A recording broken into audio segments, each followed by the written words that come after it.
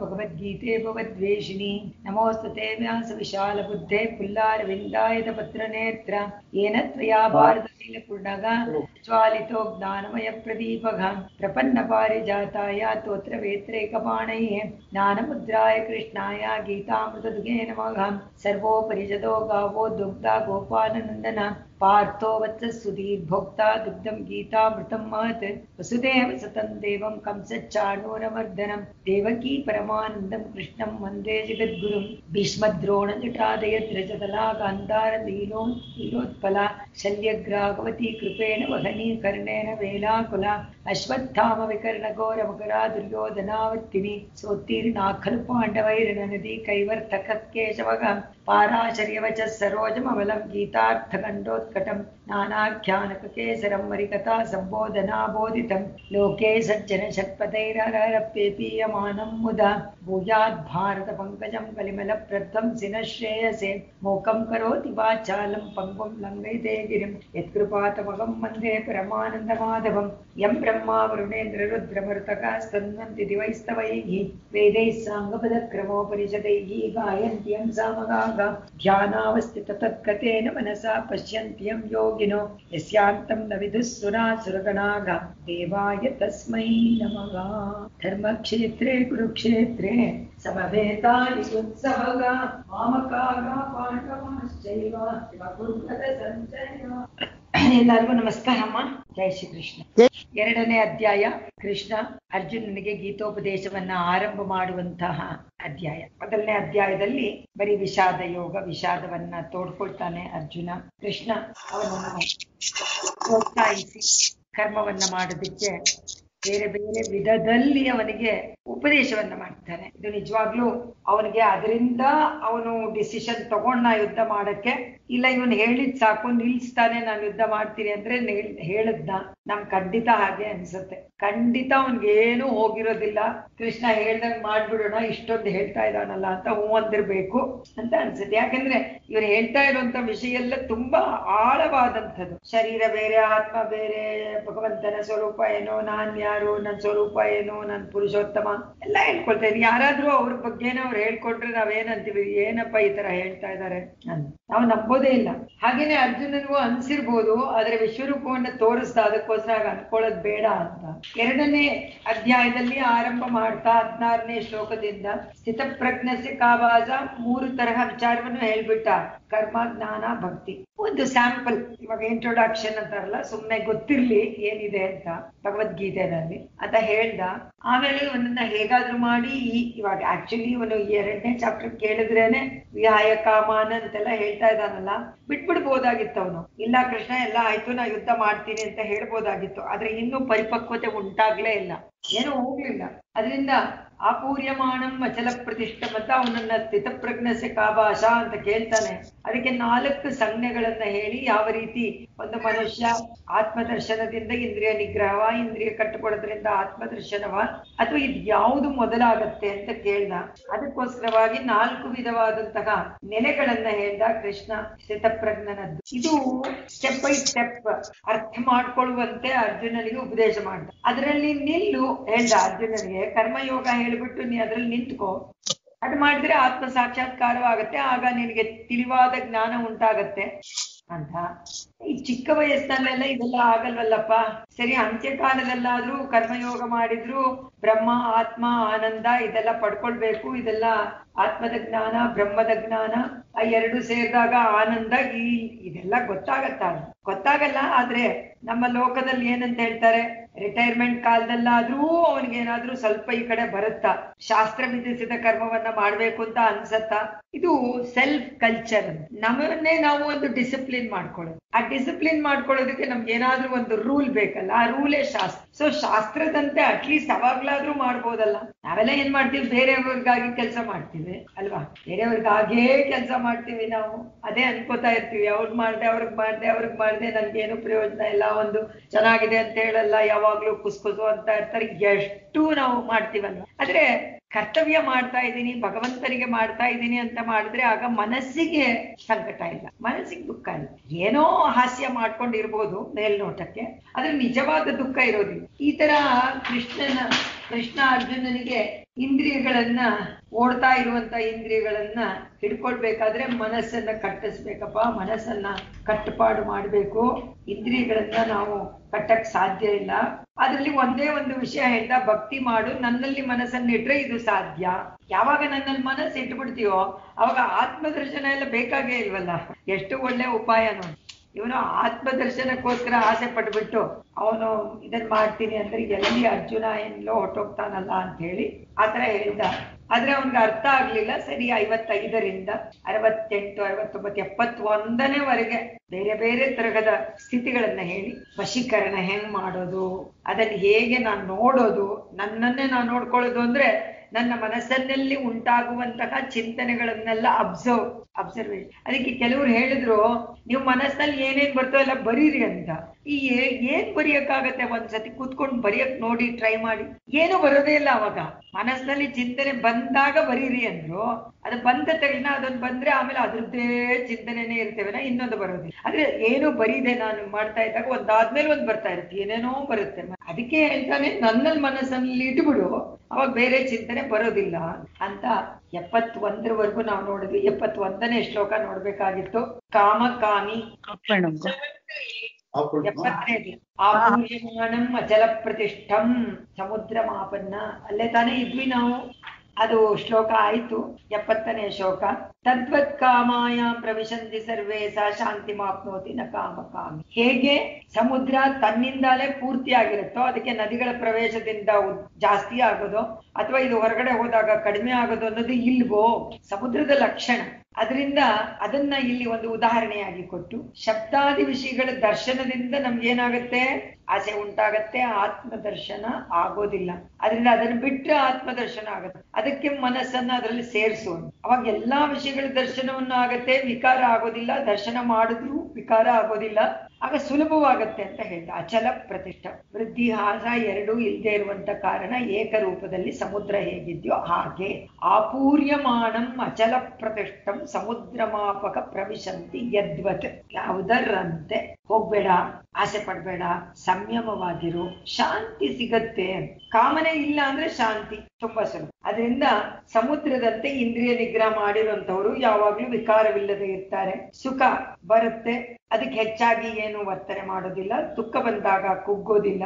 ಎಲ್ಲಾ ಆಸೆಗಳನ್ನ ನೋಡಿ ಅಲ್ಲಾಡದೆ ಇರ್ತಾರೆ ಆಚಲ ಅದು ಅವರ ನಿಲೆ, ಇದು ಸ್ಥಿತಪ್ರಜ್ಞನ ನಿಲೆ. ಬೇರೆಯವರಿಗೆ ಕಷ್ಟ ಬಂದಾಗ ಹೋಗಿ ಸಹಾಯ ಮಾಡ್ಬೇಕು, ಅದು ಧರ್ಮ.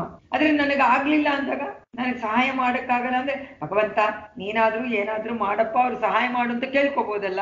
ಅದನ್ನಾದ್ರೂ ಮಾಡು. ವಿಕ- ವಿಕಾರ ಆಗೋದಿಲ್ಲ ಮನಸ್ಸು ಬಟ್ ಏನ್ ಮಾಡ್ಬೇಕು ಅದನ್ನ ಮಾಡುವಂತ ಈಗ ಎಲ್ಲರಿಗೋಸ್ಕರ ಮಾಡ್ಕೊಳ್ಳಿ ಅಂತ ಹೇಳಿ. ಈಗ ಅಹೋಬಿಲ ಸ್ವಾಮಿಗಳು ಹೇಳಿದ್ದಾರೆ, ಎಲ್ರು ಅಚ್ಯುತಾನಂತ ಗೋವಿಂದ ಹೇಳ್ತಾನೆ ಇರಿ. ಅಭೀತಿ ಸ್ತವವನ್ನ ಬೆಳಿಗ್ಗೆ ಮೂರ್ ಸತಿ, ಸಾಯಂಕಾಲ ಮೂರ್ ಸತಿ ಹೇಳಿ ಅಂತ ಹೇಳಿದ್ದಾರೆ. ನಾವು ಹೇಳ್ಬೇಕಾದ್ರೆ ಏನ್ ಮಾಡ್ಬೇಕು? ನಮಗ ಭೀತಿ ಇಲ್ಲ, ನಮಗೋಸ್ಕರ ಭೀತಿ ಬೇಡ ಅಂತಲ್ಲ. ಪ್ರಪಂಚಕ್ಕೆ ಈ ಭೀತಿಯಿಂದ ನಿವಾರಣೆ ಆಗ್ಬೇಕು ಅಂತ ಸಂಕಲ್ಪ ಮಾಡ್ಕೊಂಡಾಗ ಅದು ಖಂಡಿತವಾಗಿ ಕಾಮ್ಯ ಸಂಕಲ್ಪ ಆಗೋದಿಲ್ಲ. ಅದರಿಂದ ಇಲ್ಲಿ ವಿಕಾರವಾಗದೇ ಇರೋದಕ್ಕೆ ಏನ್ ಮಾಡ್ಬೇಕು ಅಂತ ಮನಸ್ಸನ್ನ ಯಾವಾಗ್ಲೂ ಪರರಲ್ಲೇ, ಪರರ ದುಃಖದಲ್ಲೇ ಭಾಗಿಯಾಗುವಂತವನು ಆ ದುಃಖದಲ್ಲಿ ತಾನು ಒಬ್ಬನಾಗ್ಬಿಡ್ತಾನೆ, ದುಃಖ ಅನುಭವಿಸ್ತಾನೆ. ಅದರಿಂದ ಅದು ಕಷ್ಟ. ವಿಕಾರವಾಗದೆ ದುಃಖ ಮಾಡ್ಕೊಳ್ದೆ ಆ ದುಃಖದಲ್ಲಿರುವಂತವ್ರಿಗೆ ಸಾಂತ್ವನ ಮಾಡೋದಿದೆಯಲ್ಲ ಅದು ಫಲವನ್ನ ಪಡಿತಾನೆ ಆತ್ಮದರ್ಶನ ಇಲ್ಲಿ ಆತ್ಮದರ್ಶನವನ್ನೇ ಹೇಳ್ತಾ ಇದ್ದಾನೆ ಅದಕ್ಕೆ ಹೇಳಿದ್ರು ವಿ- ಈಗ ಎಪ್ಪತ್ತ ಒಂದನೇ ಶ್ಲೋಕ. ವಿಹಾಯ ಕಾಮಾನ್ಯ ಸರ್ವಾನ ಪುಮಾಂಶರತಿ ನಿಸ್ಪೃಗ ನಿರ್ಮಮೋ ನಿರಹಂಕಾರಗ ಸ ಶಾಂತಿ ಇದು ನೋಡಿದ್ವಿ ನಾವು ಖಂಡಿತ.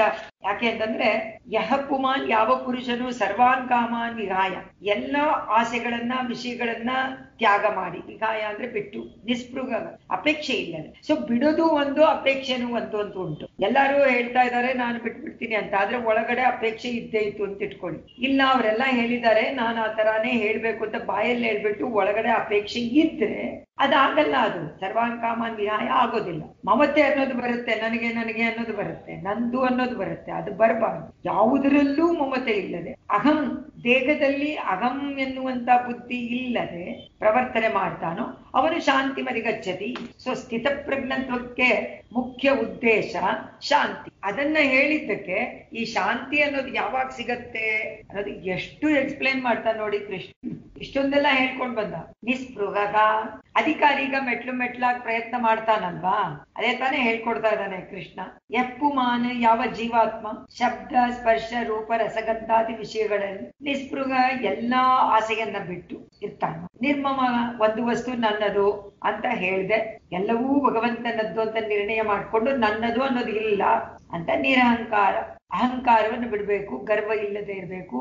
ಅದಕ್ಕೆ ಖಂಡಿತ ಬೇಕೇ ಬೇಕು. ನೆಮ್ಮದಿ ಬೇಕು ಅಂತಂದ್ರೆ ಮೊದಲು ಅದನ್ನು ಬಿಡಬೇಕು. ಅದು ತುಂಬಾ ಮುಖ್ಯವಾದದ್ದು, ಅಹಂಕಾರವನ್ನ ಅಂದ್ರೆ ನಾನು ನಾನು ಹೇಳ್ತಾನೆ ಇರುತ್ತಲ್ಲ, ಆತ್ಮ ಅದನ್ನ ಹೆಂಗ್ ಬಿಡೋದು? ಬಿಡಕ್ಕಾಗಲ್ಲ. ಅದು ನಮ್ಮ ವ್ಯವಹಾರಕ್ಕೋಸ್ಕರ. ಆದ್ರೆ ನಿಜವಾಗಿ ನಂದಲ್ಲ, ಶರೀರಾನು ನಂದಲ್ಲ, ಆತ್ಮಾನು ಬೇರೆ ಅಂತ ಹೇಳ್ಕೊಳ್ಳೋನು ಏನ್ ಮಾಡ್ತಾನೆ? ಯಾವುದಕ್ಕೂ ಅಂಟಿಸ್ಕೊಳ್ಳೋದೇ ಇಲ್ಲ. ಹೇಗಿರ್ತಾನೆ? ಕಮಲದ ಪುಷ್ಪದ ಮೇಲೆ ನೀರು ನಿಂತಂತೆ ಅಂತ ಮೋಕ್ಷಾನಂದವನ್ನ ಬ್ರಹ್ಮ ಪ್ರಾಪ್ತಿಯನ್ನ ನೆಮ್ಮದಿ, ಶಾಂತಿ ಅಂತ ಹೇಳ್ಬೇಕಂತೆ. ಬೇರೆ ಯಾವುದು ಸೊ ಅದನ್ನ ಪಡಿಬೇಕಾದ್ರೆ ನಿರ್ಮಮಗ ನಿರಹಂಕಾರಗ ನಿಸ್ಪೃಹಗ ಪುಮಾನ್ ಯಾರು? ಎಲ್ಲ ಸರ್ವಕಾಮಾನ್ ವಿಹಾಯ.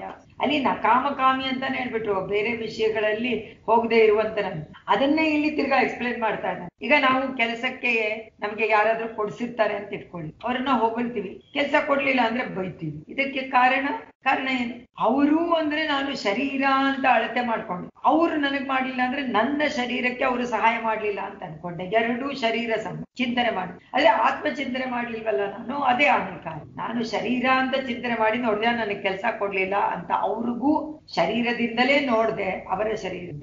ಅದೇ ಒಳಗಿರುವಂತ ಆತ್ಮನನ್ನ ನಾನು ಕಾಣಕ್ಕಾಗಲ್ವಲ್ಲ? ಸೂಕ್ಷ್ಮವಾಗಿ. ನಾನೇ ಶರೀರ ಅಂತ ನೆನೆಸ್ಕೊಳ್ಳೋದು ತಪ್ಪು. ಅದು ತುಂಬಾ ಕಷ್ಟ. ಸುಖ ನನ್ನದು ಅಂತ ತಿಳಿಯೋದು ತಪ್ಪು, ದುಃಖ ನನ್ನದು ಅಂತಾನು ತಿಳ್ಕೊಬೇಡ. ಎಲ್ಲವನ್ನೂ ಬಿಟ್ಬಿಡು, ಅದು ಅಹಂಕಾರಕ್ಕೆ ಸೇರಿ ಇವಾಗ ಪರೀಕ್ಷೆ ಬರಿಬೇಕು, ನಾ ಪಾಸ್ ಆಗ್ಬೇಕು ಅಂದ್ರೆ ಓದ್ಲೇಬೇಕು, ನಾ ಬರೀಲೇಬೇಕು. ಇಲ್ಲ, ನಾನಲ್ಲ, ನಾನ್ ಶರೀರ, ನಂದಲ್ಲ, ನಾನ್ ಬರೀ ಆತ್ಮ, ನಾನ್ ಯಾಕೆ ಬರಿಬೇಕು, ಆದ್ರೆ ಆಗ್ಲಿ ಅಂತ ಮಾಡಿದ್ರೆ ಆಗತ್ತಾ? ನಾನ್ ಮಲ್ಕೊಂಡೇ ಇರ್ತೀನಿ, ನಾನ್ ಓದಲ್ಲ, ಬರೆಯೋದಿಲ್ಲ, ನಾ ಪಾಸ್ ಆಗ್ಬೇಕು ಅಂದ್ರೆ ಹಾಗ ನನ್ ನಿದ್ದೆ ಬೇಕು ಅಂದ್ಮೇಲೆ ನಾನು ಖಂಡಿತವಾಗಿ ಹಾರಿಸಾಂಟಲ್ ಆಗ್ಲೇಬೇಕು ವರ್ಟಿಕಲ್ ಪೊಸಿಷನ್ ಶರೀರ ತಾನೇ ನಿದ್ದೆ ಮಾಡುತ್ತೆ, ನಾನೇ ನಿದ್ದೆ ಮಾಡುವಲ್ವಲ್ಲ ಅಂತ ಸುಮ್ನೆ ಇರಕ್ಕಾಗತ್ತಾ? ನನಗಲ್ವಲ್ಲ ನಿದ್ದೆ? ಆತ್ಮಕ್ಕೆ ನಿದ್ದೆ ಬೇಕಾ? ಸೊ ಈ ಅದಕ್ಕೆ ನಿದ್ದೆನೆ ಬೇಡವಲ್ಲ? ಅದಕ್ಕೆ ಬೇಕಾಗಿಲ್ವಲ್ಲ? ಮತ್ ಯಾಕೆ ಮಲ್ಕೋಬೇಕು? ಬೇಡ, ನೋಡು, ಎದ್ದಿರು ನೋಡೋಣ. ಆಗತ್ತಾ? ಆಗಲ್ಲ ಯಾವುದೂ ಆತ್ಮಕ್ಕಿಲ್ಲ ಅಂದ್ಮೇಲೆ ಏನು ಆತ್ಮಕ್ಕೆ ಸಂಬಂಧಪಟ್ಟಿದೆ ಹಾಗಾದ್ರೆ? ಅಹಂಕಾರ ಬಿಡ್ಬೇಕು ಅಂತ ತಾನೇ ಈ ಶ್ಲೋಕದಲ್ಲಿ ಪೂರ್ತಿಯಾಗಿ ನನ್ನದಲ್ಲದನ್ನ ನನ್ನದು ಅಂತ ಹೇಳೋದು. ಅಹಂಕಾರ ನಾನು, ಆತ್ಮ, ನಾನೇ ದೇಹ ಅಂತ ಹೇಳೋದು. ಅದು ಗೊತ್ತಾಗೋಯ್ತು ನಿನಗೆ? ಇಲ್ಲ, ಆತ್ಮ ಬೇರೆ, ದೇಹ ಬೇರೆ ಅಂತ. ಆತ್ಮ ಅನ್ನೋದು ನಾನು ಸೊ ನಂದ ದೇಹ. ಅಲ್ಲೂ ಬಂತಲ್ಲ? ಆದ್ರೆ ಎಲ್ಲ ಇದರಲ್ಲಿ ಶರೀರಕ್ಕೆ ಸಂಬಂಧಪಟ್ಟದ್ದು ಎಲ್ಲಾನು. ಒಂದೇ ಒಂದು ಮಾತ್ರ ಆತ್ಮಕ್ಕೆ ಸಂಬಂಧಪಟ್ಟದ್ದು ಜ್ಞಾನ. ಇನ್ನೆಲ್ಲಾನು ಇದೆ. ಅದಕ್ಕೆ ಇಂದ್ರಿಯಗಳು. ಇವಾಗ ನಿಸ್ಪೃಗ ಅಂದ್ರೆ ಇಂದ್ರಿಯಗಳನ್ನ ಬಿಟ್ಬಿಡೋದು. ಇಂದ್ರಿಯಗಳೇ ತಾನಾಗೆ ನನಗೆ ಇವನು ಬೇಡ ಅಂತ ಹೊಟ್ಟೋದ್ರೆ ಎಷ್ಟು ಚೆನ್ನಾಗಿರುತ್ತೆ. ನಾವಿಲ್ಲಿ ಇರ್ಬೇಕಾಗಿಲ್ಲ. ಅದು ಹೊಟ್ಟೋದ್ರೆ ಇವ್ರು ಹೊಟ್ಟೋಗ್ತಾರೆ ಇನ್ನೇನ ಆಯ್ತು? ಒಂದೊಂದಾಗಿ ಹೋಯ್ತು, ಕಿವಿ ಹೋಯ್ತು, ಕಾ, ಕಣ್ಣು ಹೋಯ್ತು ಅಂತ ಅವಾಗ ಏನ್ ಹೇಳ್ತಾರೆ? ಇನ್ನೇನು ಇವ್ರ ಕಡೆ ಕಾಲ ಬಂತು ಅಂತ ಹೇಳ್ತಾರೆ. ಆಗ ಮಾಡೋಂಗಿಲ್ವಲ್ಲ ಅದ್ ಮಾಡಿದಾಗ ನಮ್ಗೆ ಈ ಗೀತಾ ಯೋಚನೆ ಬರುತ್ತಾ? ಆತ್ಮದ ಯೋಚನೆ ಬರುತ್ತೆ? ಏನೂ ಬರಲ್ಲ. ನಾವಿಲ್ಲಿ ಇರ್ಬೇಕಾಗಿಲ್ಲ ಅಂತ ಹೊರಟೋಗ್ಬಿಟ್ಟಾಗ ಎಷ್ಟು ಚೆನ್ನಾಗಿರುತ್ತೆ ಅಂತ. ಅವಾಗ ಆತ್ಮದರ್ಶನ ಉಂಟಾಗತ್ತೆ ಅಂತ ಇದ್ದಾರೆ ಇಲ್ಲಿ. ಕೃಷ್ಣ ಅದನ್ನೇ ಹೇಳ್ತಾನೆ. ಯಾವಾಗ ಇಂದ್ರಿಯಗಳು ನೀನ್ ಬೇಡ ಅಂತ ಹೊಟ್ಟೋಗುತ್ತೋ ಆವಾಗ ನಿನಗೆ ಆತ್ಮದರ್ಶನವಾಗುತ್ತೆ ಅದೇ ತಾನೇ ಮುಖ್ಯ ಉದ್ದೇಶ ಈ ಎರಡನೇ ಅಧ್ಯಾಯ. ಅದಕ್ಕೆ ಎರಡನೇ ಚಾಪ್ಟರ್ನಲ್ಲಿ ಲಾಸ್ಟ್ ಕಡೆಯ ಶ್ಲೋಕ ಎಪ್ಪತ್ತೆರಡನೇ. ಹಾ ಇದ್ರಲ್ಲಿ ಏನ್ ಹೇಳ್ತಾರೆ ನೋಡೋಣ. ಯಾಯ ಕಾಮ ಕಾಮಾಂಗ ಅಂದ್ರೆ ನಾವು ಬಯಸುವಂತರು ಇಂದ್ರಿಯಗಳಿಂದ ಬಯಸುವಂತಹ ವಿಷಯಗಳು. ಶಬ್ದ, ರಸ, ರೂಪ ಗಂಧರ ಯಾವ ಪುರುಷ ಇದನ್ನೆಲ್ಲ ಸಮಸ್ತ ವಿಷಯಗಳನ್ನ ಪರಿತ್ಯಾಗ ಮಾಡ್ತಾನೋ, ಅದರಲ್ಲಿ ಅವನಿಗೆ ಅಂಟಿಕೊಂಡಿರಲ್ವೋ, ಮಮತೆ ಇರಲ್ವೋ, ಆತ್ಮದಲ್ಲಿ, ದೇಹದಲ್ಲಿ ಆತ್ಮ ಎನ್ನುವಂತಹ ಅಭಿಮಾನವಿಲ್ಲದೆ ಪ್ರವರ್ತನೆ ಮಾಡ್ತಾನೋ, ಅಂಥವನು ಆತ್ಮದರ್ಶನವನ್ನ ಮಾಡ್ತಾ ಶಾಂತಿಯನ್ನ ಹೊಂದುತ್ತಾನೆ ಅಂತ ಹೇಳ್ಬಿಟ್ಟು ಸ್ಥಿತಪ್ರಜ್ಞ ಆಗ್ಬೇಕು. ಅವನಿಗೆ ಆತ್ಮದ ಸಂದರ್ಶನವಾಗತ್ತೆ ಅಂತ. ಹಾಗಾದ್ರೆ ಕಾಮನೆ ಮಾಡೋರಿಗೆ ಶಾಂತಿ ಎಂದು ಇಲ್ವೇ ಇಲ್ವಾ? ಆದ್ರೆ ಅವರಿಗೂ ಶಾಂತಿ ಹೇಗಾಗತ್ತೆ? ಹಾಗಾದ್ರೆ ಅವ್ರಿಗೂ ಸಿಗತ್ತಾ? ಅದು ಹೇಳಿದ್ದಾರೆ. ಯಾತಕ್ಕೆ ಅಂದ್ರೆ ವಿಷಯ ಸಂಗ್ರಹ ನಡೀತಾನೆ ಇರುತ್ತೆ. ಆದ್ರೆ ಅದರಲ್ಲಿ ಸ್ಪೃಹಂತೆ ಇಲ್ಲದೆ ಇದ್ರೆ ಸಾಕು. ಕಂಪ್ಲೀಟ್ ಆಗಿ ಬಿಡಕ್ಕಾಗಲ್ಲ, ಕಣ್ ತೆಗೆದೇ ಇರುತ್ತೆ, ನೋಡ್ತಾನೆ ಇರುತ್ತೆ. ಯಾವ್ದೋ ಒಳ್ಳೇದನ್ನ ನೋಡಿದಾಗ ಸುಂದರವಾಗಿದೆ ಅಂತ ಹೇಳುತ್ತೆ. ಇನ್ನೇನೋ ಅಟ್ರಾಕ್ಷನ್ ಆಗುತ್ತೆ. ಹಾ. ಅಟ್ರಾಕ್ಷನ್ ಆದಾಗ ಅದರಲ್ಲಿ ಪೂರ್ತಿ ಮೋಹ ತೋರಿಸ್ತೆ ಇರುವಂತ. ಯಾಕಂದ್ರೆ ಮನೋವಿಕಾರಕ್ಕೆ ಕಾರಣ ನಮ್ಮ ಅಹಂಕಾರ, ಮಮಕಾರ ಅಂತಾನೆ ಹೇಳ್ತಾರೆ. ಮೊದಲಿಂದ ಎಲ್ಲರೂ ಅದನ್ನೇ ಹೇಳ್ತಾರೆ. ಮನೋವಿಕಾರಕ್ಕೆ ಕಾರಣ ನಾನು, ನನ್ನದು, ಈಗೋ. ಇದನ್ನ ನಿವೃತ್ತಿ ಆಗ್ಬಿಟ್ರೆ ಆಗ ಒಳ್ಳೆಯ ಆತ್ಮ ದರ್ಶನವಾಗುತ್ತೆ. ಆತ್ಮದ ಒರಿಜಿನಲ್ ಸ್ಟೇಟ್ ಬೇರೆ ಎಲ್ಲ ನಶ್ವರವಾಗುತ್ತೆ ಬೇರೆ ವಿಷಯದೆಲ್ಲ ಅನುಭವ ಬೇಕಾಗಿರಲ್ಲ, ಆನಂದದಲ್ಲಿ ಆಸಕ್ತಿ ಇರಲ್ಲ, ನಿವೃತ್ತಿ ಆಗ್ಬಿಡುತ್ತೆ. ಸಾನಿಶಾ ಪಶ್ಯತೋ ಮುನೇಹೆ ಅಂತ ಹೇಳಿದಾಗ, ಈಗ ಎರಡನೇ ಚಾಪ್ಟರ್ನಲ್ಲಿ ಅರವತ್ತೊಂಬತ್ತು, ಎಪ್ಪತ್ತು ಏನಂತ ಹೇಳಿದ್ರು? ಆತ್ಮದರ್ಶನ ಪ್ರಾಪ್ತಿಗೆ ಏನ್ ಮಾಡ್ಬೇಕು? ಅವನ ವಿಷಯವನ್ನು ಹೇಳಿದ್ರು. ಈಗ ಈ ಶ್ಲೋಕದಲ್ಲಿ ಮುಂದಕ್ಕೆ, ಈ ಶ್ಲೋಕದಲ್ಲಿ ಶಾಂತಿ ಅಂತ ಹೇಳಿದ್ರು. ಈಗ ಮುಂದಿನ ಶ್ಲೋಕ, ಶಾಂತಿ ಯಾವಾಗ ಸಿಗತ್ತೆ? ನೆಮ್ಮದಿ ಯಾವಾಗ ಸಿಗತ್ತೆ ಅಂತ. ಸೊ ಖಂಡಿತ ಇಂದ್ರಿಯಗಳ ಸುಖಕ್ಕೆ ಅಪೇಕ್ಷೆ ಪಡದೇ ಇದ್ರೆ ಸಾಕು. ಮನಸ್ಸು ವಿಕಾರ, ಅದು ಮಾಡಕ್ಕಾಗಲ್ವಾ? ಮನಸ್ಸು ವಿಕಾರಗೊಳ್ಳದಿದ್ದರೆ ಆಂಜನೇಯನಂತ ಆಂಜನೇಯ ಎಷ್ಟು ಜನ ಸ್ತ್ರೀಗಳನ್ನ ನೋಡಿದ್ರು ಅವನಿಗೆ ವಿಕಾರವಾಗ್ಲಿಲ್ಲ. ಅವನೇ ಹೇಳ್ಕೊಳ್ತಾನೆ, ನಂಗೆ ಆಗ್ಲಿಲ್ವಲ್ಲ. ಅದರಿಂದ ನನಗೆ ಪಾಪ ತಟ್ಕೊಳ್ಳಿಲ್ವಲ್ಲ ಪಾಪ ಅಂಟ್ಕೊಳ್ಳಿಲ್ಲ ಅಂತ ಅವನೇ ಸಮಾಧಾನ ಮಾಡ್ಕೊಳ್ತಾನೆ. ಹಾಗೆ ನೋಡಿದ್ರೂನೆ, ಕೇಳಿದ್ರೂನೆ, ಏನ್ ಮಾಡಿದ್ರೂನೆ, ಅದರಲ್ಲಿ ನಿಸ್ಪೃಹತೆ. ಅದು ಬಂದ್ರೆ ಆಗ ಶಾಂತಿ. ಅದಿಲ್ಲ ಅಂಟ್ಕೊಂತು ಅಂದ ತಕ್ಷಣ ಶಾಂತಿ ಇದನ್ನ ಮುಗಿಸ್ತಾನೆ ಈ ಕಡೆಯ ಅಧ್ಯಾಯವನ್ನ ಎಪ್ಪತ್ತೆರಡನೇ ಶ್ಲೋಕ ಏಷಾ ಬ್ರಹ್ಮಿ ಸ್ಥಿತಿ ಪಾರ್ಥ ನೈನಾಂ ಪ್ರಾಪ್ಯ ವಿಮುಖ್ಯತಿ ಸ್ಥಿತ್ವಾ ಸ್ಯಾಮಂತ ಕಾಲೇಪಿ ಬ್ರಹ್ಮ ನಿರ್ವಾಣ ಮುಚ್ಚತಿ ಏಷಾ ಬ್ರಾಹ್ಮಿ ಸ್ಥಿತಿ ಪಾರ್ಥ ನೈನಾಂ ಪ್ರಾಪ್ಯ ವಿಮುಖ್ಯತಿ ಸ್ಥಿತ್ವಾ ಸ್ಯಾಮಂತ ಕಾಲೇಪಿ ಬ್ರಹ್ಮ ನಿರ್ವಾಣ ರುಚ್ಚತಿ ರುಚ್ಯತಿ ರುಚ್ಯತೆ ಅಂದ್ರೆ ಹೊಂದೋದು ನಿರ್ವಾಣಂ ಬ್ರಹ್ಮ, ಆನಂದಮಯನಾದ, ಇಲ್ಲಿ ಬ್ರಹ್ಮ ಅಂದ್ರೆ ಇಲ್ಲಿವರೆಗೂ ಆತ್ಮನನ್ನೇ ಹೇಳ್ತಾ ಇದ್ದಾನೆ, ಬ್ರಹ್ಮ ಶಬ್ದ. ಏಷಾ ಸ್ಥಿತಿ, ಕಡೆಯ ಕಾಲದಲ್ಲಿ ಆದ್ರೂ ಬ್ರಹ್ಮನನ್ನ ತೋರಿಸು ಅಂತ ಇಂದ ಸ್ಥಿತಿ, ಏಷಾ ಸ್ಥಿತಿ, ಈ ಸ್ಥಿತಿ, ಈ ಅಂದ್ರೆ ಏನು? ಯಾವ ಸ್ಥಿತಿ? ಕರ್ಮಯೋಗ.